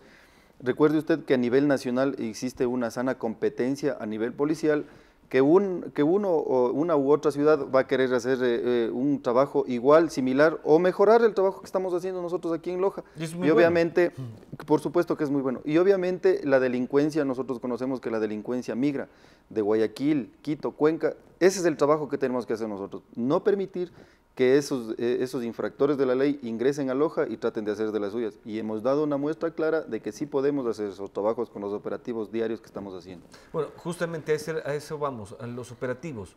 Eh, ¿Cómo se disminuye, por ejemplo, el robo a domicilios? Eh, para disminuir el robo a domicilios, la primera instancia que utilizamos es la presencia policial. En el 2015 no existía una correcta aplicación de un modelo de gestión que se lo viene realizando a nivel nacional, modelo de gestión que obviamente indica que la presencia de la policía debe llegar hasta el último rincón de la ciudad, y eso es lo que no había. Se identificó esa problemática y ahora existe el modelo de gestión en donde está el distribuido en distritos, circuitos y subcircuitos, que es la unidad mínima para que el policía pueda trabajar. A esto se ha articulado también varios operativos en los que el que mayor eh, efectividad y el que mayores resultados nos ha dado es el encargo a domicilio. Nosotros aquí en Loja no teníamos eh, la costumbre de encargar a la policía a nuestro domicilio para que nos dé cuidando. Pensábamos que era algo ilógico, pero eh, se hizo un trabajo articulado con policía comunitaria en donde el policía se trasladó al domicilio de cada ciudadano y golpeando la puerta, vamos a utilizar la palabra comercial, ofertó el servicio del encargo a domicilio a la ciudadanía de tal manera que la ciudadanía encargue su, su, casa, su domicilio, mientras vaya a salir a hacer uso de unos días libres al policía. El policía tiene la obligación de cuidar y al final, al retorno del ciudadano, el policía le entrega tal y como estaba. Eso nos ha dado buenos resultados. El último, el último feriado hemos tenido encargo de 178 encargos de domicilios. Imagínense, de cero llegar a un número de 178 es bastante, eh, bastante significativo. Claro, obviamente lo que pretendemos nosotros como policía es de que esos 178 se duplique, se triplique para que la ciudadanía esté tranquila. Eso nos daría una muestra de que la, de que la ciudadanía está confiando en su Policía Nacional. Eh, sí, ahora, eh, con respecto a la de, al asalto a personas, ¿qué se realiza? Mire, con respecto al asalto a personas, aquí hemos formado eh, dos grupos especialmente motorizados, que son los que mayor efectividad nos han dado eh, aquí en Loja. Eh, tome en cuenta la, configuración urbana de, especialmente el centro, que es el, de acuerdo a la georreferenciación que nosotros manejamos del delito, el centro es el que mayor robo a personas tenía. Obviamente movilizarse en un patrullero en el centro en una hora pico es un poco complicado, entonces obviamente nosotros hemos utilizado la estrategia de formar unos grupos motorizados, eh, dos grupos motorizados en donde se está trabajando con ellos y nos ha dado efectividad.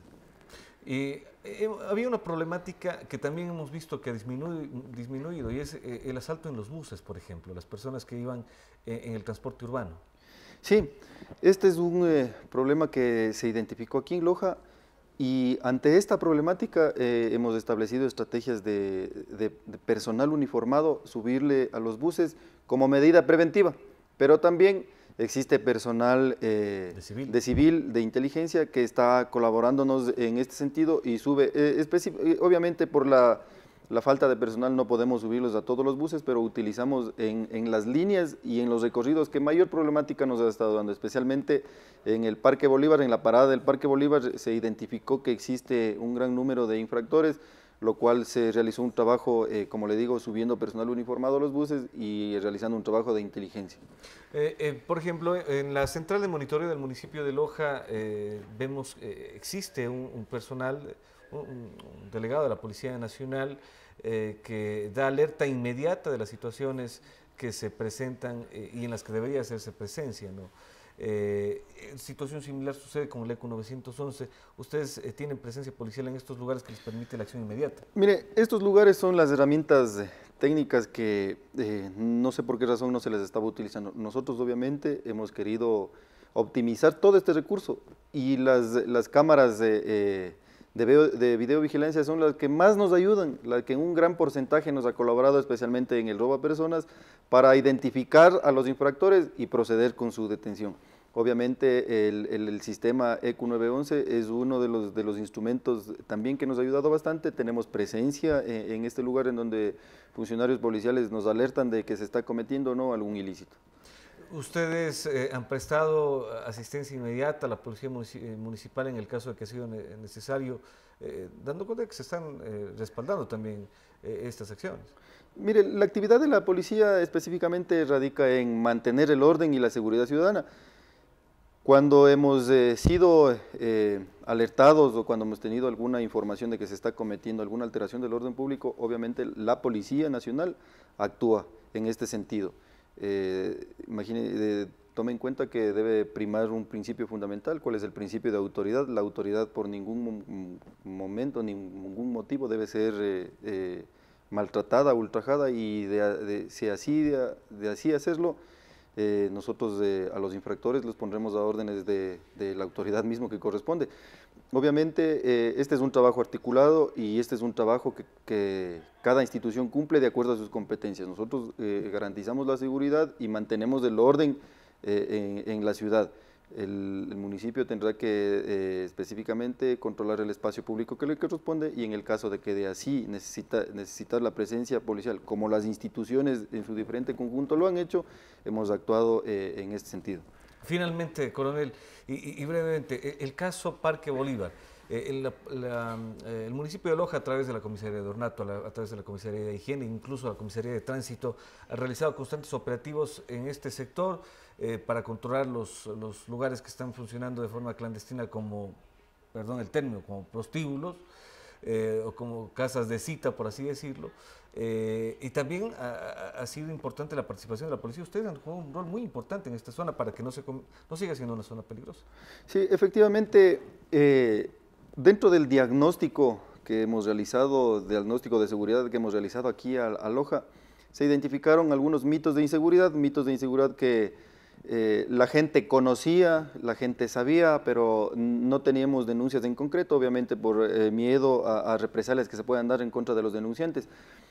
La policía no se puede quedar ajena ante esta eventualidad que estaba sucediendo y en coordinación con algunas instituciones, tanto de, justicia como intendencia y, comisarías municipales, hemos realizado varios operativos, operativos que al momento nos han dado resultado. Hemos, eh, hemos recuperado el espacio público del Parque Bolívar y lo hemos entregado a la ciudadanía para que sea un espacio de esparcimiento, un lugar en donde la ciudadanía pueda hacer turismo eh, por parte de la institución hemos hecho eso. Inclusive tenemos presencia policial las 24 horas con una unidad móvil de atención ciudadana, tenemos presencia de personal de inteligencia. Este trabajo, eh, eh, como ustedes entenderán, no se puede realizar de un día a otro. Este trabajo necesita articularse con inteligencia, necesi necesitamos evidenciar eso para poner eh, eh, en manos de la justicia, de tal manera que la justicia tenga los elementos suficientes para poder eh, tomar las medidas que correspondan en contra de los infractores. Hemos trabajado con intendencia, un duro trabajo eh, con las comisarías municipales, como le digo, en el control de estas hostales, inclusive eh, eh, hemos tenido que clausurar ciertos lugares en donde no han prestado las garantías suficientes y donde se supone que están albergando a infractores de la ley.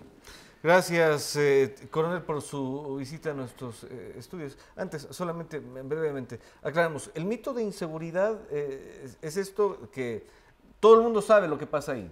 pero no se denuncia. Pero efectivamente sí sucede lo que se... Sí, claro, un mito de inseguridad es un lugar en donde conocemos que existe algunos eventos adversos, pero no lo denunciamos por el miedo a represalias. Nosotros eh, estamos realizando las investigaciones y no nos vamos a dedicar solamente al Parque Bolívar, no nos hemos dedicado solo a ese lugar. Tenemos identificado otros lugares, eh, mm, permítame no dar nombres por el momento para, que, para que tenga una efectividad como se lo ha hecho en el Parque Bolívar.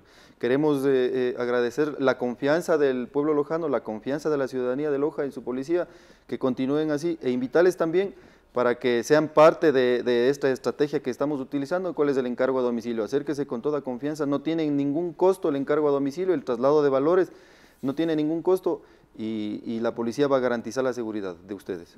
En nuestros estudios estaba acompañándonos el teniente coronel Patricio eh, Vaquero, jefe de operaciones de la Policía Nacional Subzona 11. Eh, Muchísimas gracias por su eh, presencia en nuestros estudios. Nos estamos despidiendo con esta entrevista y les invitamos a que se mantengan en la sintonía de Canal Sur. Lo que viene a continuación es el programa Personajes con el licenciado Leonardo Eras. Que tengan un excelente día miércoles. Nos encontramos a las 10 de la mañana en la rueda de prensa del doctor José Bolívar Castillo.